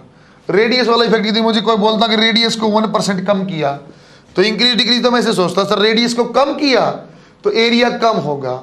एरिया कम होगा तो रेजिस्टेंस क्या होगा? इंक्रीज होगा। और मुझे इफ़ेक्ट देखना तो मैं कैसे देख वो तो आंसर तो आ जाएगा डायरेक्ट एन पावर फोर है सर या तो मैं सीधा एन पावर फोर है। आपने क्या बोला रेडियस को वन परसेंट डिक्रीज किया तो रेजिस्टेंस बढ़ जाएगा कितना? सर एन पावर फोर चार टाइम्स बढ़ जाएगा। यदि मैं इस हिसाब से बना तो मैं लिखता है rho L by A sir volume constant आप बना दो, लेकिन एरिया आपको छेड़ना नहीं है तो इसको वॉल्यूम एल को हटाओ। तो एल को हटाओ तो ये वॉल्यूम कॉन्स्टेंट हट गया। Resistance inversely proportional to area square area मैंने आर पावर फोर रेजिस्टेंस आपका रेडियस पावर फोर वही हमने बोला, इस फॉर्म में बन जाएगा। सही है क्या? ये और बनाओ बच्चों। आपको एन स्क्र और एन पावर फोर ध्यान देना। बच्चों, में कुछ क्वेश्चन अब आपको आराम से आर इक्विवेलेंट वाले कराऊँगा आपको। ऐसे नहीं सोचना सर ये तो हमें आते ही है। दो चार तुम्हें आएँगे, दो चार धीरे धीरे हम अच्छे कर लेंगे। सही है क्या? तो एक एक बार मैं कैपेसिटर में ऐसे यूज़ कर रहा था बेटा कि इक्वल पोटेंशियल पॉइंट है तो सी को बेसिक बीच में सटा दो। और आपको यहाँ भी लाइन लिखवा चुका हूँ current will flow due to potential difference high potential से लो पोटेंशियल करंट फ्लो ऐसे मैं आपको बता चुका हूँ। कुछ उनका यूज़ करते हैं। सरल क्वेश्चन शुरू करता हूँ बच्चों? धीरे धीरे उसको अच्छा हम बनाएँगे। चार पाँच सवाल हम उससे करते हैं पहले। बना बच्चों। एक एक सरल से क्वेश्चन शुरुआत करता हूँ बच्चों। यहाँ बच्चों टू ओम है। यहाँ फोर ओम है बच्चों। और यहाँ बच्चों टू ओम ऐसा ही फिर आगे यहाँ बच्चों आपका टू ओम यहाँ बच्चों आपका टू ओम ऐसे ही फिर चला। ये आपका टू ओम और ये आपका फिर से टू ओम। ऐसे चला हुआ बच्चों, ये आपका बोल दिया ए और ये बोल दिया बी आपको बताना बेटा आर इक्विवेलेंट क्या है? क्वेश्चन आप चाहे लाइन लिख रहे question based on R equivalent question based on R equivalent R दस क्वेश्चन कराएँगे। धीरे धीरे आसान क्वेश्चन शुरू कर रहा हूँ। कुछ कुछ आप लेकिन हर क्वेश्चन पे समझते हो जाओगे। हाँ अच्छा था। जैसे बच्चे, मुझे क्वेश्चन को सोल्व करना होता आसान भी है बेटा। बच्चे ये मान के चल रहा हूँ मैं कि करंट इलेक्ट्रिसिटी में दिक्कत सबसे मोटी पता क्या होती है मेरे साथ? या बच्चे के साथ क्या होती है? नॉर्मल बच्चा क्या सोचता है? मास्टर में दो दो, चार चार, दो, इतना इतना, ऐसे करता है मास्टर मास्टर ऐसे सोल्व करता है। दो दो, चार चार, अगर ये हो गया, ये इसका इतना हो जाएगा, और लो आ गया आंसर और वो बच्चे को बिल्कुल बिल्कुल भी पल्ले नहीं पड़ता, बोल क्या रहा है ये। सही है क्या? मैं तुम्हें आराम से पहले बता रहा हूँ, ढंग से सीखते जाना, फिर आप उसको धीरे धीरे अच्छे लेवल पे ले जाएँगे। बेटा, पहले मुझे पता नहीं दो पोटेंशियल पॉइंट कौन से सर ए और बी है। तो ए को मैं हमेशा हाई पोटेंशियल मान लो। बच्चा, आपको मानने की ज़रूरत नहीं एक्चुअली वो बैटरी लगी होती है। हमें आर इक्वलेंट वाले में बैटरी दिखाता नहीं। तो किसी एक को तो हाई मानना पड़े तो हम करंट को डिवीज़न या देख पाएँगे तो नहीं देख पाएँगे। देखो बच्चों, ऐसे क्वेश्चन को मैं शुरू करूँगा बेटा, जहाँ एंड किया। देखो बच्चों, ये टू और टू ये टू और टू किसी में सीरीज़ में सर कैसे पता चला मुझे? मैं तो बच्चों एक ही नियम जानता हूँ, यदि इन दोनों रजिस्टर में सेम करंट फ्लो किया तो सीरीज़ में है और यदि डिवीज़न हुआ तो बच्चों पैरेलल में है। यहाँ जो भी करंट रहा होगा बेटा, इसमें जो गया, इसमें भी वही गया होगा। तो सेम आपका इसलिए मैं बोल रहा हूँ सीरीज़ में। देखो दोबारा बनाता हूँ। सर ये ए, कुछ कुछ मैं रीडर करूँगा बच्चों आप चिंता मत करना थोड़ी देर में हम फास्ट बना लेंगे। ये आपका फोर ओम है बच्चों। यहाँ आपका टू ओम है और ये आपका बी पॉइंट सही। बच्चों ये आपका टू एच इज़ रहा। थोड़ा सा एक बार आप देखो बच्चों। सर ये टू और टू सीरीज़ में कितने हो जाएँगे बेटा? फोर और बच्चों यदि यहाँ फोर लगा हुआ है ये पूरा फोर और ये ये फोर किसमें आ जाएगा? पैरेलल में। फोर और फोर पैरेलल में मेरे ख्याल से ऐसे बना देता हूँ मैं इसको फिर से टू बात समझ में आई है? बच्चों, ये टू और टू क्या बेटा? सर फोर इस पॉइंट से आपको ऐसा दिखाई देता, सर, ये फोर ओम और ये आपका फोर ओम इनको मैंने सोल्व करके बच्चों, यहाँ लिखा है। सही है क्या? फोर और फोर पैरेलल में। नहीं, समझो तुम तो भाई। Not identical n identical register n identical register कितने बनेंगे बच्चों? सीरीज़ में होंगे तो बेटा एन आर और यदि पैरेलल में होंगे तो बच्चों आर डिवाइड बाई एन सही है क्या? हमने क्या बोला, सर? ये भी चार और ये भी चार दो है पैरेलल में है four R divide by two इससे टू आर बना है। फिर देखना बच्चों एक बार अच्छे से। सर, अब फिर दोबारा देखो। ये और ये। ये और ये फिर से कैसे सीरीज़ में? कैसे पता चला बेटा? सर, एक करंट आप बना के देख लो। देखो, दोनों में सेम जा रहा है। ये दोनों टू और टू है सीरीज़ में, ये चार फिर से पैरेलल में। तो एक फाइनल सर्किट ड्रॉ करता हूँ सर ए यहाँ पे टू ओम है। सर बी यहाँ भी टू ओम है। और बच्चों, यहाँ देखो बेटा। सर ये फोर और फोर भी मेरे ख्याल से क्या बन जाएँगे? टू ओम बेटा, ये पैरेलल में सीरीज़ में है। सीरीज़ में। कैसे पता चलेगा? सर यहाँ से ए से करंट फ्लो करा तो देख लो, सब में वही आ रहा है। सर सीरीज़ में है तो सिंपल आर इक्वलेंट क्या आ जाएगा? Two plus two plus two that is six ohm सही है क्या? ये बनाओ एक अगला। सोल आप करना। थोड़ा थोड़ा परिवर्तन करता हूँ, मैं बेटे, एक आसान सा क्वेश्चन शुरुआत किया है। इनफाइनाइट सीरीज़ के मैंने क्वेश्चन आपको वहाँ सोल्व करवा था एक बार याद है तो कैपेसिटर में। यहाँ भी पॉसिबिलिटी बनती सेम तो वो अपने आप आज करना, थोड़ी देर बाद। एक दो क्वेश्चन और पहले मैं करवा दूँ, फिर आप उसको डायरेक्ट सोल्व कर पाओगे दो बातें आपको बताई थी बेटे, मैंने अब यहाँ और डिस्क्रिप्टिव मैनर में सीखे कुछ और नियम सीख लेंगे ना। वो हमने सरल सरल से किए थे। तो लेकिन आज मैं सरल वाले पोर्शन में तो आपको वहाँ भी बता रहा सेम पोटेंशियल पॉइंट यदि होंगे तो बच्चे वहाँ करंट फ्लो नहीं होगा, वहाँ चार्ज फ्लो नहीं होता था ना? देखते कुछ क्वेश्चनों में ये क्वेश्चन आप बताओगे डायरेक्ट बता पाओगे तो बहुत अच्छा डायरेक्ट आंसर आना चाहिए कोई बहुत मुश्किल चीज़ नहीं। ए दो ओम, चार ओम, फिर चार ओम, फिर चार ओम और फिर से यहाँ चार।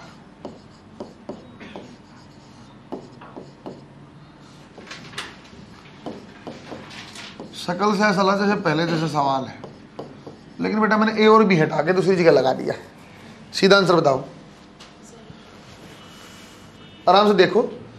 बीस एक सेकेंड लो टाइम देखो कैसा। तो पहली बात ये समझ में ना चाहिए, बच्चों, यहाँ करंट जा सकता है क्या? नहीं। अरे ऐसे बना हुआ खाम खाई है यहाँ से शुरू होगा करंट यहाँ और यहाँ डिवाइड सर, ये जो जाएगा, इसमें भी सेम वही जाएगा। फोर और फोर सीरीज़ में एट में। सर, ये फोर और ये फोर सीरीज़ में एट सर एट और एट पैरल में फोर फोर टू और टू कितना एट फिर भी एक बार बना देता हूँ मैं। इसका सिंपल सर्किट बनाते रहो बच्चों। सर, ये टू बन जाता। ये आपका ऐसे फोर ये बच्चों ऐसे फोर और सेम रिपीट नीचे। यहाँ भी फोर ओम आता बेटा। यहाँ भी फोर ओम आता बच्चों। और यहाँ आपका टू ओम। अब आपको क्लियर दिखने भी लग जाएगा। और आर इक्वलेंट की वैल्यू आ जाएगी एट ओम। देखो बच्चों कितना समझ में आया डायरेक्ट समझ पा रहे बच्चों? ये एट ये एट एट और एट पैरल में फोर है, फिर सीरीज़ में दो प्लस चार प्लस दो दैट इज़ एट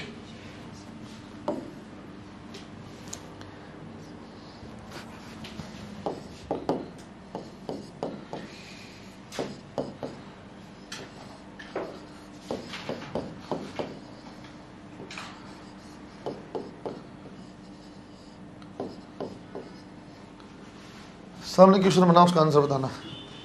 ए और बी के ए और बी के बीच में इक्विवेलेंट दो दो दो ओम दो ओम है सा बेटा, एक जगह वन ओम है। Seven ohm. देखो अच्छे, देखो बताओ। Four ohm is the right answer short circuit है बेटा ये। अरे रेजिस्टेंस का मतलब समझते हो आप? रेजिस्टेंस का मतलब सिंपल सा देखा जाए तो एक लठली के आदमी खड़ा पीटने के लिए तैयार। तो समझे, उसको ड्रॉप करने को तैयार है? वो पोटेंशियल आएगी, उसको ड्रॉप करेगा, वहाँ लॉस होना उसको वहाँ क्यों जाएगा? सर, यहाँ, देखो मेरी बात सुनना बच्चों। अच्छे से। बच्चों, यहाँ तक करंट आ गया, सही है सर ए से सर यहाँ भी जा सकता है अच्छे बात सुनना। तो मैं बोलूँ, बच्चों, कौन सा पाथ इजी टू फ्लो अच्छे सुनना। कौन सा path easy to flow sir ऊपर तो रोकने वाला है, कोई रोकने वाला नहीं सर नीचे से निकल जाएगा। शॉर्ट सर्किट होगा, बच्चों, यहाँ जाना ही नहीं उसको। एक्चुअल सर्किट ये है, दो और दो, चार ओम आंसर है फिर आदमी ऐसे मुझसे सवाल ऐसे आने लग जाते हैं सामने से बच्चे के। फिर मास्टर जी, एक काम कर लो, ये टू ओम है, और एक काम कर लो, यहाँ पे ऊपर वन ओम और ये टू ओम सर, यहाँ देखो, ये छोटा है, ये यहाँ संभावना कम तो एक काम करो, पूरे करंट को बोल दो, यहाँ से चला जाए। समझा क्या? सवाल ऐसे पूछता है बच्चा, सर, वो वो छोटा है तो उसकी, वो यहाँ लट कम लगेंगे तो यहाँ से निकल जाए, नहीं। फिर तो बच्चों, दोनों जगह से जाएगा, इस चीज़ को बोलते बेटा, शॉर्ट सर्किट। जब कोई रेजिस्टेंस नहीं है सर्किट शॉर्ट हो गया, छोटा सर्किट हो गया वहाँ से सीधा करंट निकल जाएगा। सही है क्या? ये मत सोचना, फिर अलग तरीका, फिर ये पैरेलल जैसे जाते हैं, सही जाएगा। सही है क्या? ये मतलब बोला, सर, ये कम है, यहाँ पिटेगा नहीं। आर इक्विवेलेंट की वैल्यू क्या जाएगी बच्चों? That is four ohm direct देखते कुछ बातें और तुम्हें धीरे धीरे मैं अच्छी बनाता हूँ। सिंगल स्टार आप नेक्स्ट सवाल पे बनाओ। बना रहे बेटे तो इसी में लगी पीछे वाले में। दो सवाल करा रहा हूँ सेम पोटेंशियल पॉइंट होंगे सेम पोटेंशियल में कुछ आपको समझा चुका हूँ मैं कि बच्चों सेम पोटेंशियल पॉइंट यदि आ गया तो दोनों की वी की वैल्यू सेम है। और यदि पोटेंशियल डिफरेंस नहीं तो ना ही चार्ज फ्लो करता, ना कैपेसिटर वाले में ना ही यहाँ करंट फ्लो करेगा। तो यदि करंट फ्लो नहीं उसको हटा के फेंक दो, मेरे लिए कोई काम का नहीं है। मतलब मेरे लिए फिर रेजिस्टेंस है, जैसा है ही नहीं वो। देखो बच्चे, एक बार बनाया होता आपने। एक क्वेश्चन मैं आपको करवाता हूँ, अगले वाले का आपसे पूछेंगे। देखो बच्चे, इस क्वेश्चन के ऊपर बेटा सिंगल स्टार है।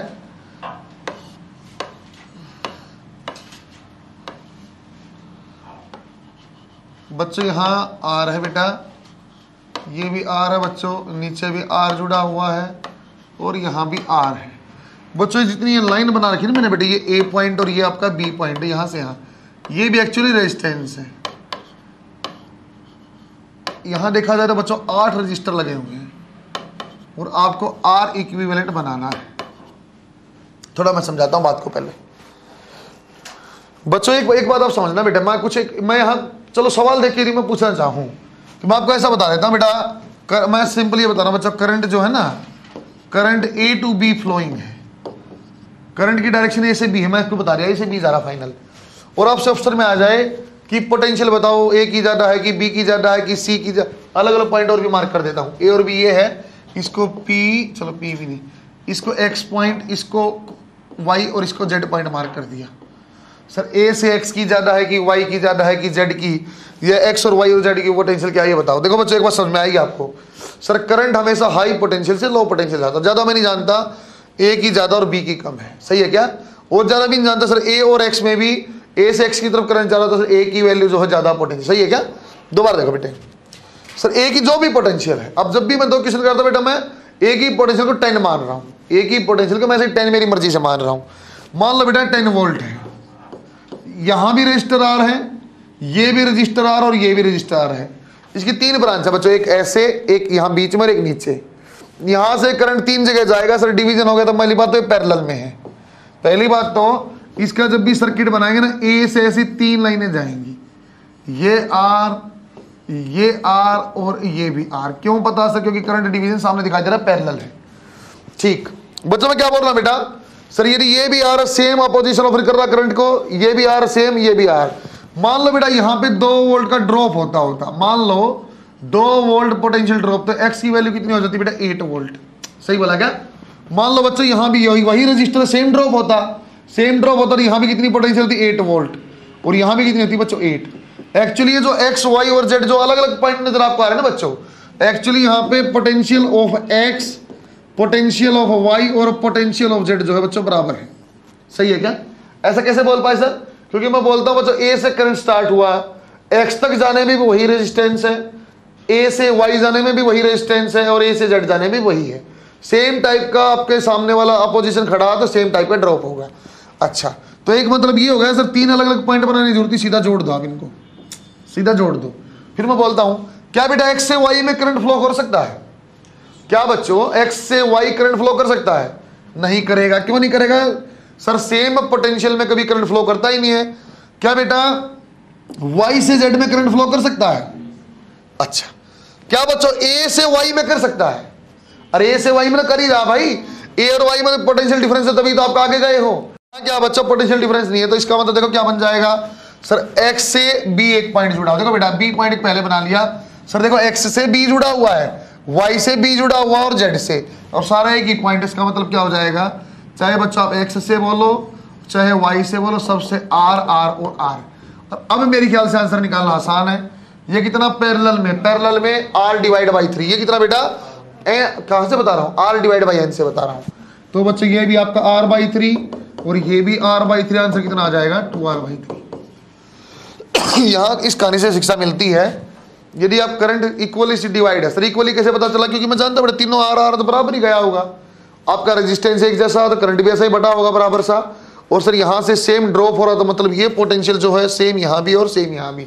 सेम पोटेंशियल भी तुम्हें करंट फ्लो नहीं करता। लिख भी देता बेटा।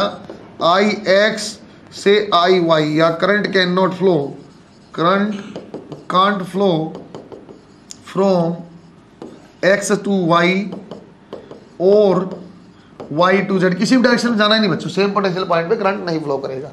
इसकी एक अच्छी एप्लीकेशन मैं आपको करवाता हूँ, एक बढ़िया सवाल कराता हूँ आप। हम क्या समझ में आया? सर, किसी भी पॉइंट से चलेंगे, हम देख लेंगे कि सेम रेजिस्टेंस है सेम ड्रॉप होता तो सेम पोटेंशियल पॉइंट है। बना बेटा। बच्चों, एक एक अपने कमरे का सवाल क्यूब का सवाल है। अपना रूम है, जरा क्यूब का सवाल है। क्यूब में ऐसा एग्ज़ाम्पल बनवा बच्चों, यहाँ हाई पोटेंशियल कैमरा लगा हुआ। हाई पोटेंशियल पॉइंट है जहाँ नीचे, इसके बॉडी डायगोनल के अपोजिट नीचे वहाँ पे बच्चों लो पोटेंशियल पॉइंट है। इस क्यूब के हर एज के ऊपर रेजिस्टेंस आर लगा हुआ है। आपको आर इक्विवेलेंट बताना पूरे क्यूब का। किसी का आंसर याद है क्या? क्यूब का आर इक्विवेलेंट सीधा आंसर याद है क्या? बॉडी डायग्राम के अपोजिट यहाँ और यहाँ, नीचे। याद होना चाहिए यार। कितना आएगा?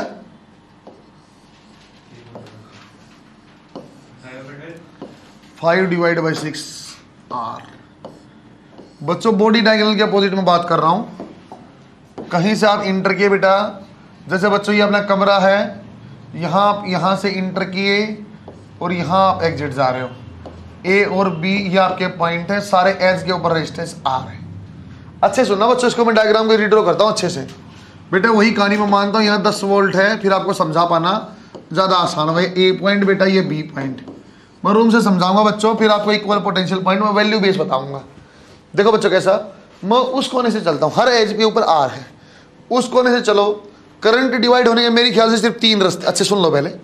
बेटा यहाँ से चलेंगे, सिर्फ़ तीन जगह डिवीज़न हो सकता है। या तो आप नीचे आ जाओ, उस कोने से, या तो आप ऐसे चले जाओ, छतरी की तरफ़ चल जाओ, या तो यहाँ आ जाओ। बेटा तीनों ही आर है। चाहे नीचे जाओ, तब भी रेजिस्टेंस आ रहा है, चाहे यहाँ जाओ, तब भी रेजिस्टेंस आ रहा है, चाहे वहाँ जाओ, तब भी रेजिस्टेंस आर है। सर मतलब उन पॉइंटों के ऊपर छतरी के पास जो पॉइंट बनेगा, मान लो बच्चों, पहले वाले में वोल्टेज ड्रॉप हुआ टू वोल्ट तो कितनी पोटेंशियल होगी सर उस पॉइंट में भी एट पोटेंशियल है। इस पॉइंट के ऊपर आपका एट पोटेंशियल है। और बच्चों, इस पॉइंट के ऊपर भी एट पोटेंशियल है। मतलब यदि आप कहीं एट एट वोल्ट वाला कोई एक पॉइंट बनाओगे, अच्छे सुनते ना बच्चों, यदि कहीं एट पोटेंशियल का आप कोई बनाओगे ना पॉइंट तो वहाँ पे तीन रजिस्टर बेशक डायरेक्ट आप जोड़ दो। बेशक से आप तीन रजिस्टर डायरेक्ट जोड़ दो। आर और आर और आर। सुनते रहे ना बच्चों बात? यहाँ पे आप आ गए एट वोल्ट वहाँ पहुँच गए एट वोल्ट और नीचे आ गए एट वोल्ट अच्छा इससे आगे देखते हैं डिवीज़न कैसा होगा। बच्चे, इस इस कोने से आगे कहाँ जा सकते हो? वहाँ से आप आ ही गए। इस कोने से आगे या तो बेटा आप वहाँ जाओगे, या तो आप नीचे जाओगे। बेटे, ये भी रेजिस्टेंस क्या आर है और ये भी रेजिस्टेंस आर है? मैं क्या बोला बच्चों रेजिस्टेंस के क्रॉस वोल्टेज ड्रॉप होती है? एज्यूम किया मैंने, तीन वोल्ट ड्रॉप हुआ। तो यहाँ से नीचे गए, तब भी नीचे वाला पॉइंट क्या? पाँच वोल्ट यहाँ से वहाँ गए, तब भी क्या बेटा? पाँच वोल्ट। सेम आगे चलते हैं। बच्चों, कहाँ गए? तब नीचे। कहाँ गए? थे नीचे। इस साइड जा सकते हो और उस साइड जा सकते हो। इस साइड जाओगे, देखो वही पॉइंट आया, कौन सा बोला था मैंने पहले ही? पाँच वोल्ट। उसके कारण कितने पॉइंट आते सेम पोटेंशियल एक, नीचे और एक वहाँ ऊपर। दो पॉइंट आ गए थे एक के कारण। इस पॉइंट के कारण, सर, एक यहाँ, पाँच वोल्ट और एक यहाँ। ये तो सेम कोलाइड हो गया। दो इसे कारण। तीसरा पॉइंट कहाँ था बच्चों? अपना ऊपर। उसके कारण हम नीचे पहुँच गए। हाँ सर, इसके कारण भी नीचे पहुँचे थे। और एक इसके कारण वहाँ पहुँच गए। देखो बच्चों तीन पॉइंट ही आपके पास बन रहे, कैसा पॉइंट सर, एक तो आप यहाँ से गए तो नीचे, वहाँ से भी पहुँचे यहीं। बच्चों, वहाँ से आए तो नीचे, आप वहाँ से आए तो बेटा आपके नीचे और वहाँ पहुँचे। सेम ऊपर वाले से जाओगे तो आप वो एक ऊपर था। तीन पॉइंट बने बच्चों। इसके कारण भी दो आपका सेम पोटेंशियल पॉइंट है, पाँच वोल्ट नीचे वाले कारण भी आपके पास दो पॉइंट है, पाँच वोल्ट और बच्चों, ऊपर वाले कारण भी पाँच वोल्ट तो छह रजिस्टर पाँच वोल्ट में आपको छह रेजिस्टेंस लगाने पड़ेंगे। एक, दो, तीन, चार, पाँच और छ अब देखो बेटा, आपके पास कहीं से आप चले जाओ, कहीं भी चले जाओ आप, दोबारा रिमाइंड करो, अब आप समझ पाओगे बच्चों मैं कंबाइंडली बताऊँगा तब। सर, शुरुआत यहाँ से किया था, एक बात। सर, आप वहाँ से तीन ऑप्शन बना दिया आपने। चाहे मैं इस कोने पर जाऊँ, चाहे मैं ऊपर जाऊँ और चाहे वहाँ ऊपर जाऊँ। तीनों में एक पॉइंट बना रहे ठीक है। उसके बाद ऑप्शन कैसे बने? सर, आप यहाँ से कहा नीचे पहुँचे थे? नीचे से आप यहाँ भी जा सकते थे और उस कोने में भी। ठीक? वहाँ से कहा बेटा तो नीचे या तो वहाँ। तो एक कोना कॉमन हो गया यहाँ से चलने पे, और वहाँ चलने में एक नीचे वाला कोना कॉमन हो गया है। सही है ना? एक ये कोना बचा, एक वो कोना। यहाँ से देखो दो ही ऑप्शन बचेंगे तो यहाँ या तो वहाँ जाओ। तो अब ये कॉमन कॉमन कोने हो गए फिक्स तो बेटा अब अपने पास कैसा पॉइंट बच गया? नीचे बॉडी डायगोनल से देख लो। तीन रस्ते बनेंगे बॉडी डायगोनल से। या तो आप यहाँ पाओगे, जो आपका कॉमन पॉइंट था या तो ऊपर जा पाओगे कॉमन पॉइंट था तो वहाँ जा पाओगे भी कॉमन पॉइंट था। तीन ही पॉइंट बचे तो तीन पॉइंट पे ही जाने के लिए फिर आप बी पे जाओगे तो आर और आर और आर बच्चों, ये बारह के बारह रजिस्टेंस जुड़ गए, अब आसान भी है R by three R by three R by six simple ये बच्चों R by three R by six और आर बाई थ्री कितना बन जाएगा बेटा? टू आर बाई थ्री और सिक्स एल्सियम ले लो, कितना बनेगा? Five divide by six R capacitance में उल्टा होता है सिक्स बाई फाइव सी बच्चों अरेंजमेंट याद होनी चाहिए। तीन छः तीन, अपने आप बन जाएगा। सेम पोटेंशियल पॉइंट को एक जगह, वरना तुम ऐसे बनाने लगे ना बेटा। यहाँ से यहाँ और यहाँ और यहाँ, फिर डिवीज़न आ गया। तो आपको सेम पोटेंशियल पॉइंट आइडेंटिफाई करने मुश्किल हो जाएँगे। रूम से देख पाना ज़्यादा आसान है। सर यहाँ से चले तो एक वहाँ एक, यहाँ एक ऊपर। जब नीचे आएँगे तो दो ही पॉइंट बचेंगे कि ये बनेगा, एक वहाँ ऊपर बनेगा और एक नीचे बनेगा। उस बॉडी सेंटर से तीन ऑप्शन आएँगे, ऊपर, यहाँ और यहाँ। बस वो सारे कोलाइड हो गए। बच्चों कैपेसिटेंस कहा जाता है, फिर ये सी सी ये छः सी और ये ऐसे ही। सेम कहानी। कितनी बन जाती? तीन सी छः सी और फिर तीन सी बना के देख लो उसका आंसर क्या बन जाएगा। ये आपको याद होना चाहिए वैल्यू कैपेसिटर वाले में सवाल मैं करवा रहा था बेटा रेजिस्टेंस वाले में तुम करना इन्फाइनाइट सीरीज़ वाला सेम सवाल फिर बनता है। बना बच्चों आपने? बेटे एक क्वेश्चन हमने पहले कैपेसिटर में बना रखा वो आपको खुद सोल्व करना इन्फाइनाइट सीरीज़ वाला। वो सेम आपने इक्विवेलेंट एक्स मान लेना और आगे सोल्व करना। बना बच्चों आपने ये हटा रहा हूँ बेटा इसको मैं। यहाँ देखो एक बार। ऐसा कोई क्वेश्चन हमने बनाया था बच्चों? अब ये आपका आर है, ये आपका आर है, और यहाँ भी मान लेते हैं आर सेम यहाँ चलता रहेगा, ये आपका आर यहाँ आपका आर सिंपल ऐसे। इसको हटाया सिंपल ऐसे ले लो। ए और बी यहाँ आर और यहाँ बच्चों आर इनफाइनाइट सोल्व करो फटाफट। कैपेसिटर बना रखा है ऐसा आर इक्विवेलेंट को एक्स मान लेना। ऐसा सर्किट बन जाएगा ए और बी के बीच में। इसके बाद देखो, सारा रिपीट हो रहा बार बार सेम टुकड़ा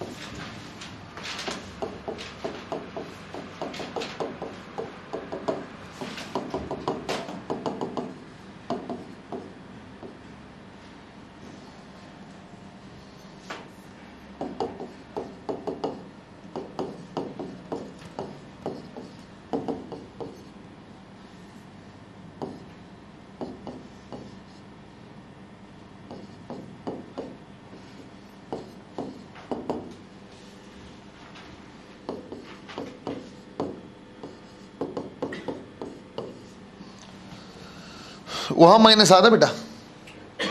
केमेस्टर वाले में सोल्व किया था जब। बना देखो अपने आप। एक दो और आसान से सवाल से, वो देखते हैं। अरे बना लिया होगा, तुम लोग तो पहले जानते हो। केमिस्टर वाले माइनस आ रहा बच्चों का छः आंसर इस टाइप का ही था।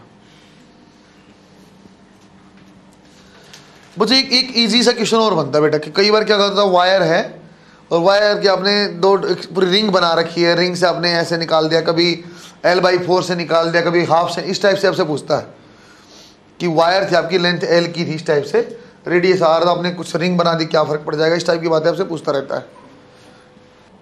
बना बच्चा आपने। अब तक बच्चों में आपको रजिस्टिविटी चेंज नहीं कर रहा हूँ, पहले एक तो क्वेश्चन में और, फिर रजिस्टिविटी यदि चेंज होगी, तब भी कोई दिक्कत नहीं। कई बार क्या करता बच्चों, आपसे ऐसे बोलता है एग्ज़ाम्पल देखो।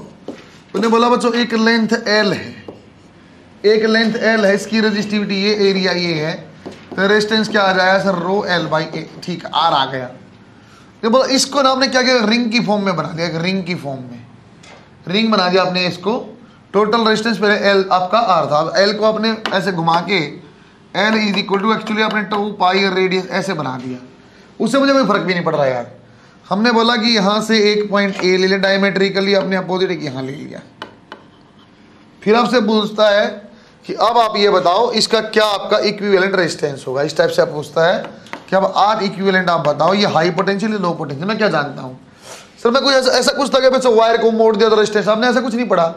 हम तो ये जानते sir R is equal to L by A बच्चों, आपने एरिया चेंज किया है रिंग में नहीं किया है। रिंग जितनी पतली थी, आपको वायर इतनी पतली अब भी है। हाँ लेंथ चेंज कर दिया, सर। यदि ऊपर वाला पोर्शन आप देखो ना सर, ये ये क्या हो गया? अब एल बाई टू यदि एल बाई टू है तो बच्चों, यहाँ रेजिस्टेंस भी क्या हो जाएगा? आर बाई टू और नीचे भी रेजिस्टेंस क्या हो जाएगा बच्चों आपका? आर बाई टू अरे, सही है क्या? पहले एक वायर थी सिंपल ऐसे उसका रेजिस्टेंस आर आपने मोड़ के रिंग बना दी और बीच में आपने जोड़ दिया।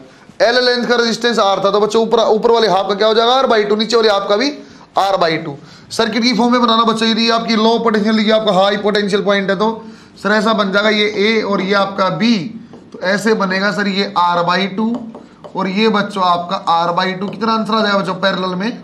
आर इक्विवेलेंट सही है क्या? सही है क्या? जो सिंपल यदि मैं यहाँ इसको वायर में जोड़ता ना ए और बी ऐसे पॉइंट पे जोड़ता तो इसे रिंग बना देता था बच्चों कंपेरेटिवली रेजिस्टेंस क्या होता? हाफ़ बच्चों, और भी कई बार हाफ़ क्या आर बाई फोर इसको बच्चों और एग्ज़ाम्पल फॉर्म में पूछता कि पहले जो आपकी एल और ए एरिया रजिस्टिविटी इतना, इसका आपका रेजिस्टेंस इतना है आपने रिंग बना दिया और आपने क्या किया? यहाँ से करंट इंटर किया, यहाँ से बता बच्चों बताना ही चाहता बेटा, वो कि आपका ये आपका हाई पोटेंशियल पॉइंट और ये आपका लो पोटेंशियल पॉइंट है। और ऊपर जो आपने कोण बता देगा बच्चों की ऊपर आपका कोण है? थ्री आपका आउट ऑफ़ थ्री ऊपर आपका टू फोर्टी ऐसा कुछ भी बता देगा आपको। ये बच्चा बोल देगा, ऊपर वाला आपका कोण जो है ऐसा, ये टू फोर्टी है। एक तरीका ये भी है। टू फोर्टी बताने मतलब पता क्या चाहता? है वो आपको ये बोलना चाहता है बच्चों, ऊपर वाली जो लेंथ है ना, वो टू एल बाई थ्री है। ये वाली लेंथ जो है बच्चों, ये बाई ये बोलना चाहता है। जितनी लेंथ बच्चों, क्या आपने एरिया चेंज किया? जितनी वायर मोटी इतनी मोटी है। हमने एरिया चेंज नहीं किया तो। ऊपर वाला क्या बन जाएगा सर? रेजिस्टेंस यहाँ टू आर बाई थ्री ये कितना हो जाएगा बेटा? आर बाई थ्री अब मेरे ख्याल से आप फिर से निकाल दोगे, ये ए और बी है। सर, कितना कितना है? टू आर बाई थ्री और ये कितना बच्चों, आपका आर बाई थ्री फिर आप पैरेलल में है तो आप सोल्व कर दो बच्चों। Two R by three into R by three divide by दोनों को जोड़ेंगे तो आर हो जाएगा कैंसिल आप कर देना तो क्या बन जाएगा बच्चों आपका? Two R divide by nine देखो मेरी ख्याल सही लिखा है। अरे बात समझ में आई क्या? यदि एक वायर है एल लेंथ की ए एरिया की, दोनों पॉइंट में पोटेंशियल जोड़ते तो रेजिस्टेंस उसका आर है। उसको रिंग की फॉर्म में आपने बना दिया, कभी बोला बच्चों डायमेट्रिक अपोजिट कर दिया, कभी बोलता बच्चों 90 डिग्री पे चला गया, यहाँ से इंटर करके, यहाँ एग्जिट उससे फ़र्क ही नहीं पड़ रहा मुझे। मैं जानना चाहता हूँ, बस जितना टुकड़ा होता सर, ये एल बाई फोर है तो आर बाई फोर हो जाएगा थ्री आर बाई फोर और ये कैसा कनेक्शन बनता? पैरल कनेक्शन और कभी कौन आपको बता देगा नब्बे डिग्री इंटर किया एग्जिट किया कभी बोल दिया डायमेट्रिक लिए अपोजिट कभी ऐसा बोल दिया कौन अलग अलग तरीके वो चीज़ एक ही है उसी को हमने मोल्ड करके लिखा है बना शाबाश। वो और समझदार आदमी होगा ना बेटा वो, वो क्या करेगा रिंग दे देगा सीधा कि आर जो है रो एल बाई ए है वो बता देगा ऊपर वाले की रजिस्टिविटी नीचे से दो गुनी है से कुछ भी बोलता है। तो हम कोई कुछ दिक्कत नहीं हम तो रेजिस्टेंस की वैल्यू जानते पुट कर लें आंसर आएगा। चलो तो छोटा सा एक पी एम टी का सॉल्व करा दिखाता हूँ तो मैं देखना उसमें। धक्से लगेगा। अच्छा ऐसे ही पूछता है। बना बच्चा आपने बेटे, कई बार वो जो पी एम टी में अठारह में सवाल पूछ लिया। बच्चा जानता है रजिस्टिविटी की फॉर्म में रेजिस्टेंस को। रो एल बाई ये जानता है। उसने रिलेशन पूछ लिया, बेटे कंडक्टिविटी का। कि दो रजिस्टर हैं सीरीज़ में लगे हुए हैं। उनका रजिस्टिविटी का क्या आपका इक्विवेलेंट होगा, बताओ। Equivalent resistivity of that conductors सवाल आप लिख के लिखते हैं। Two conductors having two conductors having conductivity sigma one and sigma two are connected in series are connected in series find out find out value of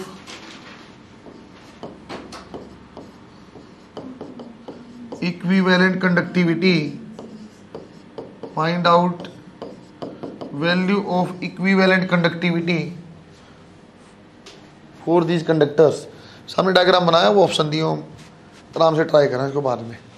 छोड़ रहा हूँ, तुम इसको ट्राई करके देखना। बच्चों, उसने क्या किया, बेटा, अलग तरीके से पूछा था नीट में। अठारह में आया सवाल। जिस टाइम नीट बहुत ईजी आता था, उस टाइम आया था ये। आपको ये बोल दिया कि, ठीक, आप जानते हो R one plus R two मैं भी जानता हूँ। आप रो भी निकाल लेते, सर आर को हटा के रो वन एल ए कर लो, ऐसे कर लो, यदि लेंथ एरिया कुछ नहीं बोला सेम मानना पड़ेगा। तो इन्हें क्या बोला बच्चों इस बार आप कंडक्टिविटी का तरीका पूछ रहे थे? कोई दिक्कत नहीं बच्चों। आर को आप क्या लिखते हैं? L divide by conductivity into A तब भी कोई दिक्कत नहीं, उल्टा अपने आप रिलेशन बनने लग जाता। बना के देखना अपने आप। एक क्वेश्चन आज का लास्ट करते हैं बस। इसको आपको टाइम दूँगा, आप छोड़ रहा हूँ, आप इसका आंसर मुझे बताना। कोई बता पाए तो डायरेक्ट बता दो। अरे क्या महात्माओं, ये ये आंसर हो पाएँगे क्या? ये आंसर हो पाएँगे? सीधा तो नहीं जुड़ना चाहिए, क्योंकि वन बाई में आ रहा है यार ये तो खुद ही। अरे हम तो जानते हैं आर वन हाल ऐसा कुछ बनेगा, देख लेना। एक क्वेश्चन आपको मैं सिमिट्री अगर आगे दिखाता हूँ सिमिट्री आपने अलग तरीके से किया होता बेटा कभी फोल्डिंग बोलते, कोई मिरर इमेज बोलता कोई कुछ बोलता है। लाइन ऑफ़ सिमिट्री आपको देखनी होती है, उसके हिसाब से क्वेश्चन सोल्व होता है। लाइन ऑफ़ सिमिट्री क्वेश्चन करने के दो तरीके, बेटा, दोनों ही तरीके बता रहा हूँ। Question based on symmetry question based on symmetry बच्चों, एक बार यहाँ देखना। लाइन ऑफ़ सिमेट्री कैसे देखी जाए? बच्चों, अपने फोल्डिंग से आर को डबल कर लो, ऐसे मैं नहीं पढ़ा रहा बेटा, है ना? आपको सिंपल दो तरीके बता दोनों ही आसान है।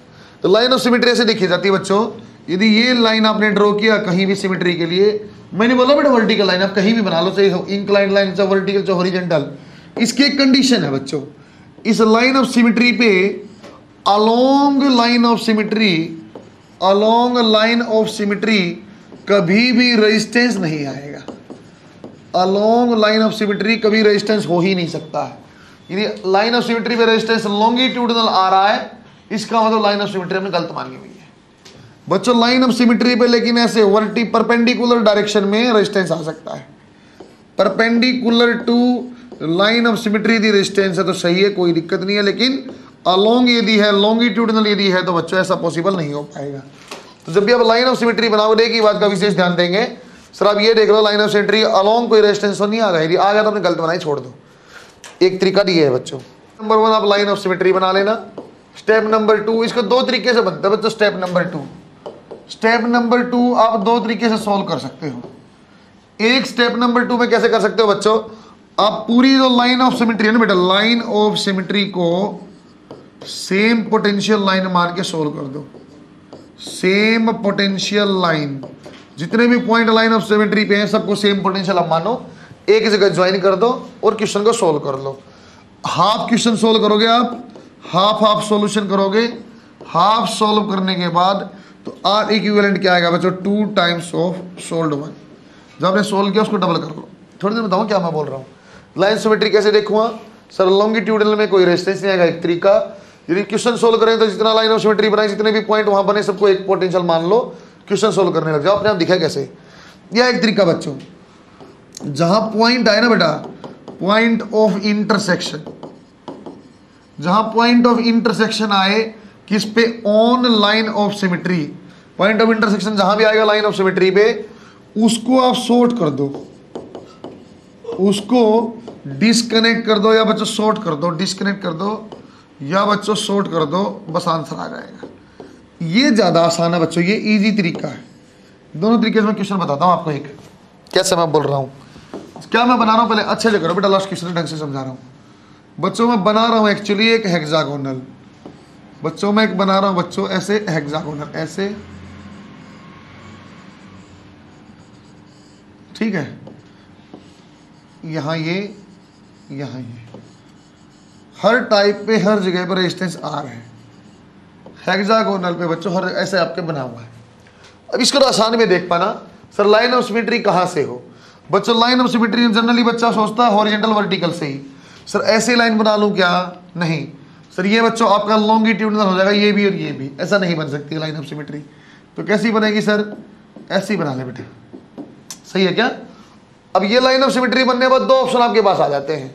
या तो क्वेश्चन को आप कैसे सोल्व कर लो? जैसे मैंने बोला बेटा ये मैं बोल रहा हूँ जो आसान वाला तरीका था, वो कैसे करो? सर, यहाँ एक पॉइंट ऑफ़ इंटरसेक्शन है। इसको आप शॉर्ट कर लो। कैसे शॉर्ट करो? देखो, ये ए पॉइंट और ये आपका बी पॉइंट इसके बीच में आपको निकालना है। कैसे निकालता देखो ए और बी आप ऐसा ही रख लो ए और बी ऐसा ही रख लो। बस इसको शॉर्ट करके ऐसे मिला दो, हटा दो। इसको डिस्कनेक्ट कर दिया, बस यहाँ से मिला दिया। देखो क्या बनेगा? ए और बी के बीच में ये आर और ये आर सीधा चला गया। आप बीच में कहीं जुड़ा ही नहीं हुआ है। देखो बेटा ए से सर ए पे एक रेजिस्टेंस मान लेता हूँ सी पॉइंट है और सीधा बी ये भी आर और ये भी आर डायरेक्ट ये जुड़े नहीं हुए अच्छा। ए से फिर कहाँ जाना पड़ेगा बच्चों? देखो एक बार, ये आर है बेटा, ये आर और ये आर क्या बन जाएगा बेटा? सर, ये तो आर है जी ये आर और आर टू आर उस आर के पैरल चले गए। देखो क्या बनाता हूँ? सर, यहाँ से एक काम करो, ऐसा एक रेजिस्टेंस बना लो आर वाला, और इससे एक पॉइंट बनाया जहाँ पे एक तो है आर और एक आ रहा है टू आर। टू आर कैसे हो गया बच्चों? सर, ये आर और ये आर मिलके टू आर हो गए। जहाँ ये दोनों पॉइंट ज्वाइन किए ना सर, जहाँ ये दोनों पॉइंट ज्वाइन किए, उससे फिर एक आर है और ये आपका यहाँ बी पे ज्वाइन कर रखा है। सही मैंने बोला? देखो बेटा ए से बी गया तो एक रेजिस्टेंस एक रेजिस्टेंस सीधा मैंने बना दिया। जब ए से बी जाएँगे इस रास्ते से देखो यहाँ पे आर बनाया, ठीक है सर आर बनाया। इस और इस पॉइंट के बीच में देखो, एक तो आर सीधा है, ये आर और आर मैंने बोल दिया ज्वाइन करा टू आर सही है बच्चों, फिर यहाँ से हम पहुँच गए, यहाँ। एक आर और जोड़ो, बेटा बी पे पहुँच गए। अब मेरे ख्याल से नीचे वाला अपने आप समझ जाओगे तुम। सर, यहाँ से चलेंगे, एक आर है। सर, यहाँ से चलेंगे, एक आर है। इस पॉइंट पे पहुँच गए। सर, यहाँ पे ये आर है और ये आपका टू आर, यहाँ तक। तो यहाँ तक कैसे बनाता बच्चों में? सर, एक साइड आपका आर है, एक साइड आपका टू आर है। ऐसा ज्वाइन कर दो। फिर फाइनली आर, और ये बच्चों क्वेश्चन सोल्व करना आसान है। अब क्वेश्चन बन जाएगा, इसको ऐसे देख पाना मुश्किल था। मैंने क्या किया? लाइन ऑफ़ सिमेट्री बनाई बच्चों। पॉइंट ऑफ़ इंटरसेक्शन पे जुड़े हुए तो हटा दिया। आंसर एक तरीका ये है बच्चों सोल्व करने का। आसान तरीका बेटा ये। दूसरा तरीका देखो। ये बच्चों मेथड वन है। मेथड नंबर टू क्या करता बच्चों में? ये आप लोगों ने शायद किया हुआ होगा। मेथड नंबर टू हम ऐसे करते हैं। सर जो चीज़ें हैं ना, उसको ऐसे ही बनाओ। ए ए पे ये ऐसा आर सर ये भी ऐसा आर यहाँ भी ऐसा आर ये सब कट गया है आर बाई टू सही है क्या? ये ऐसा आर ये आपने किया हो सकता है बेटा। यहाँ बच्चों आपका आर और ये आपका कट गया बच्चों आर बाई टू बच्चों फिर लाइन ऑफ़ सिमेट्री कौन सी थी? ये ये ये ये ये। इन सारे पॉइंटों को आप एक पोटेंशियल पॉइंट बना दो। इस पॉइंट पे इसको ज्वाइन कर दो डायरेक्ट फिर। फिर भी सोल्व हो जाएगा फिर भी कोई दिक्कत नहीं। इसको सोल्व करके और डबल कर दिया आंसर तब भी वही आएगा जो आपको वहाँ से आ रहा है। एक तरीका ये हो सकता है बच्चों शायद आपने ये पढ़ा होगा बेटा। पूरी की पूरी लाइन को एक पोटेंशियल पॉइंट हम मान लो। तो एक पोटेंशियल पॉइंट होगा तो देखो बच्चों, ये और ये आपका आपका बन जाएगा पैरेलल में, ये और ये आपका फिर आप चलते रहोगे कि सोल्व होता रहेगा। चाहे साइड सोल्व कर लेना, तब भी बन जाएगा। ऐसे कुछ बना लेना, फिर आपको डाउट लगे तो। क्योंकि देखो बेटा, ये वाला पॉइंट जो भी होगा ना, और ये वाला पॉइंट सेम पोटेंशियल पॉइंट है। कैसे पता चल रहा सर? यहाँ भी वही कहानी, यहाँ भी वही कहानी, ऐसे बन जाएगा आपका। ये ज़्यादा आसान है बच्चों, इसको करना, ये अपने किया तो इसको छोड़ देना। ना आपको सिमेट्री की लाइन ड्रा करनी आएगी। आ गई तो बच्चों पूरे, आप पोटेंशियल मैच कर पाने में बड़ी दिक्कत हो जाएगी। सिमेट्री लाइन बनाई डिस्कनेक्ट किया। देखो बच्चों, आसानी सोल्व हो जाएगा। आपको करना भी नहीं पड़ता, सब भूल, ऐसे ही कर देता हूँ। फटाफट। बना शाबाश।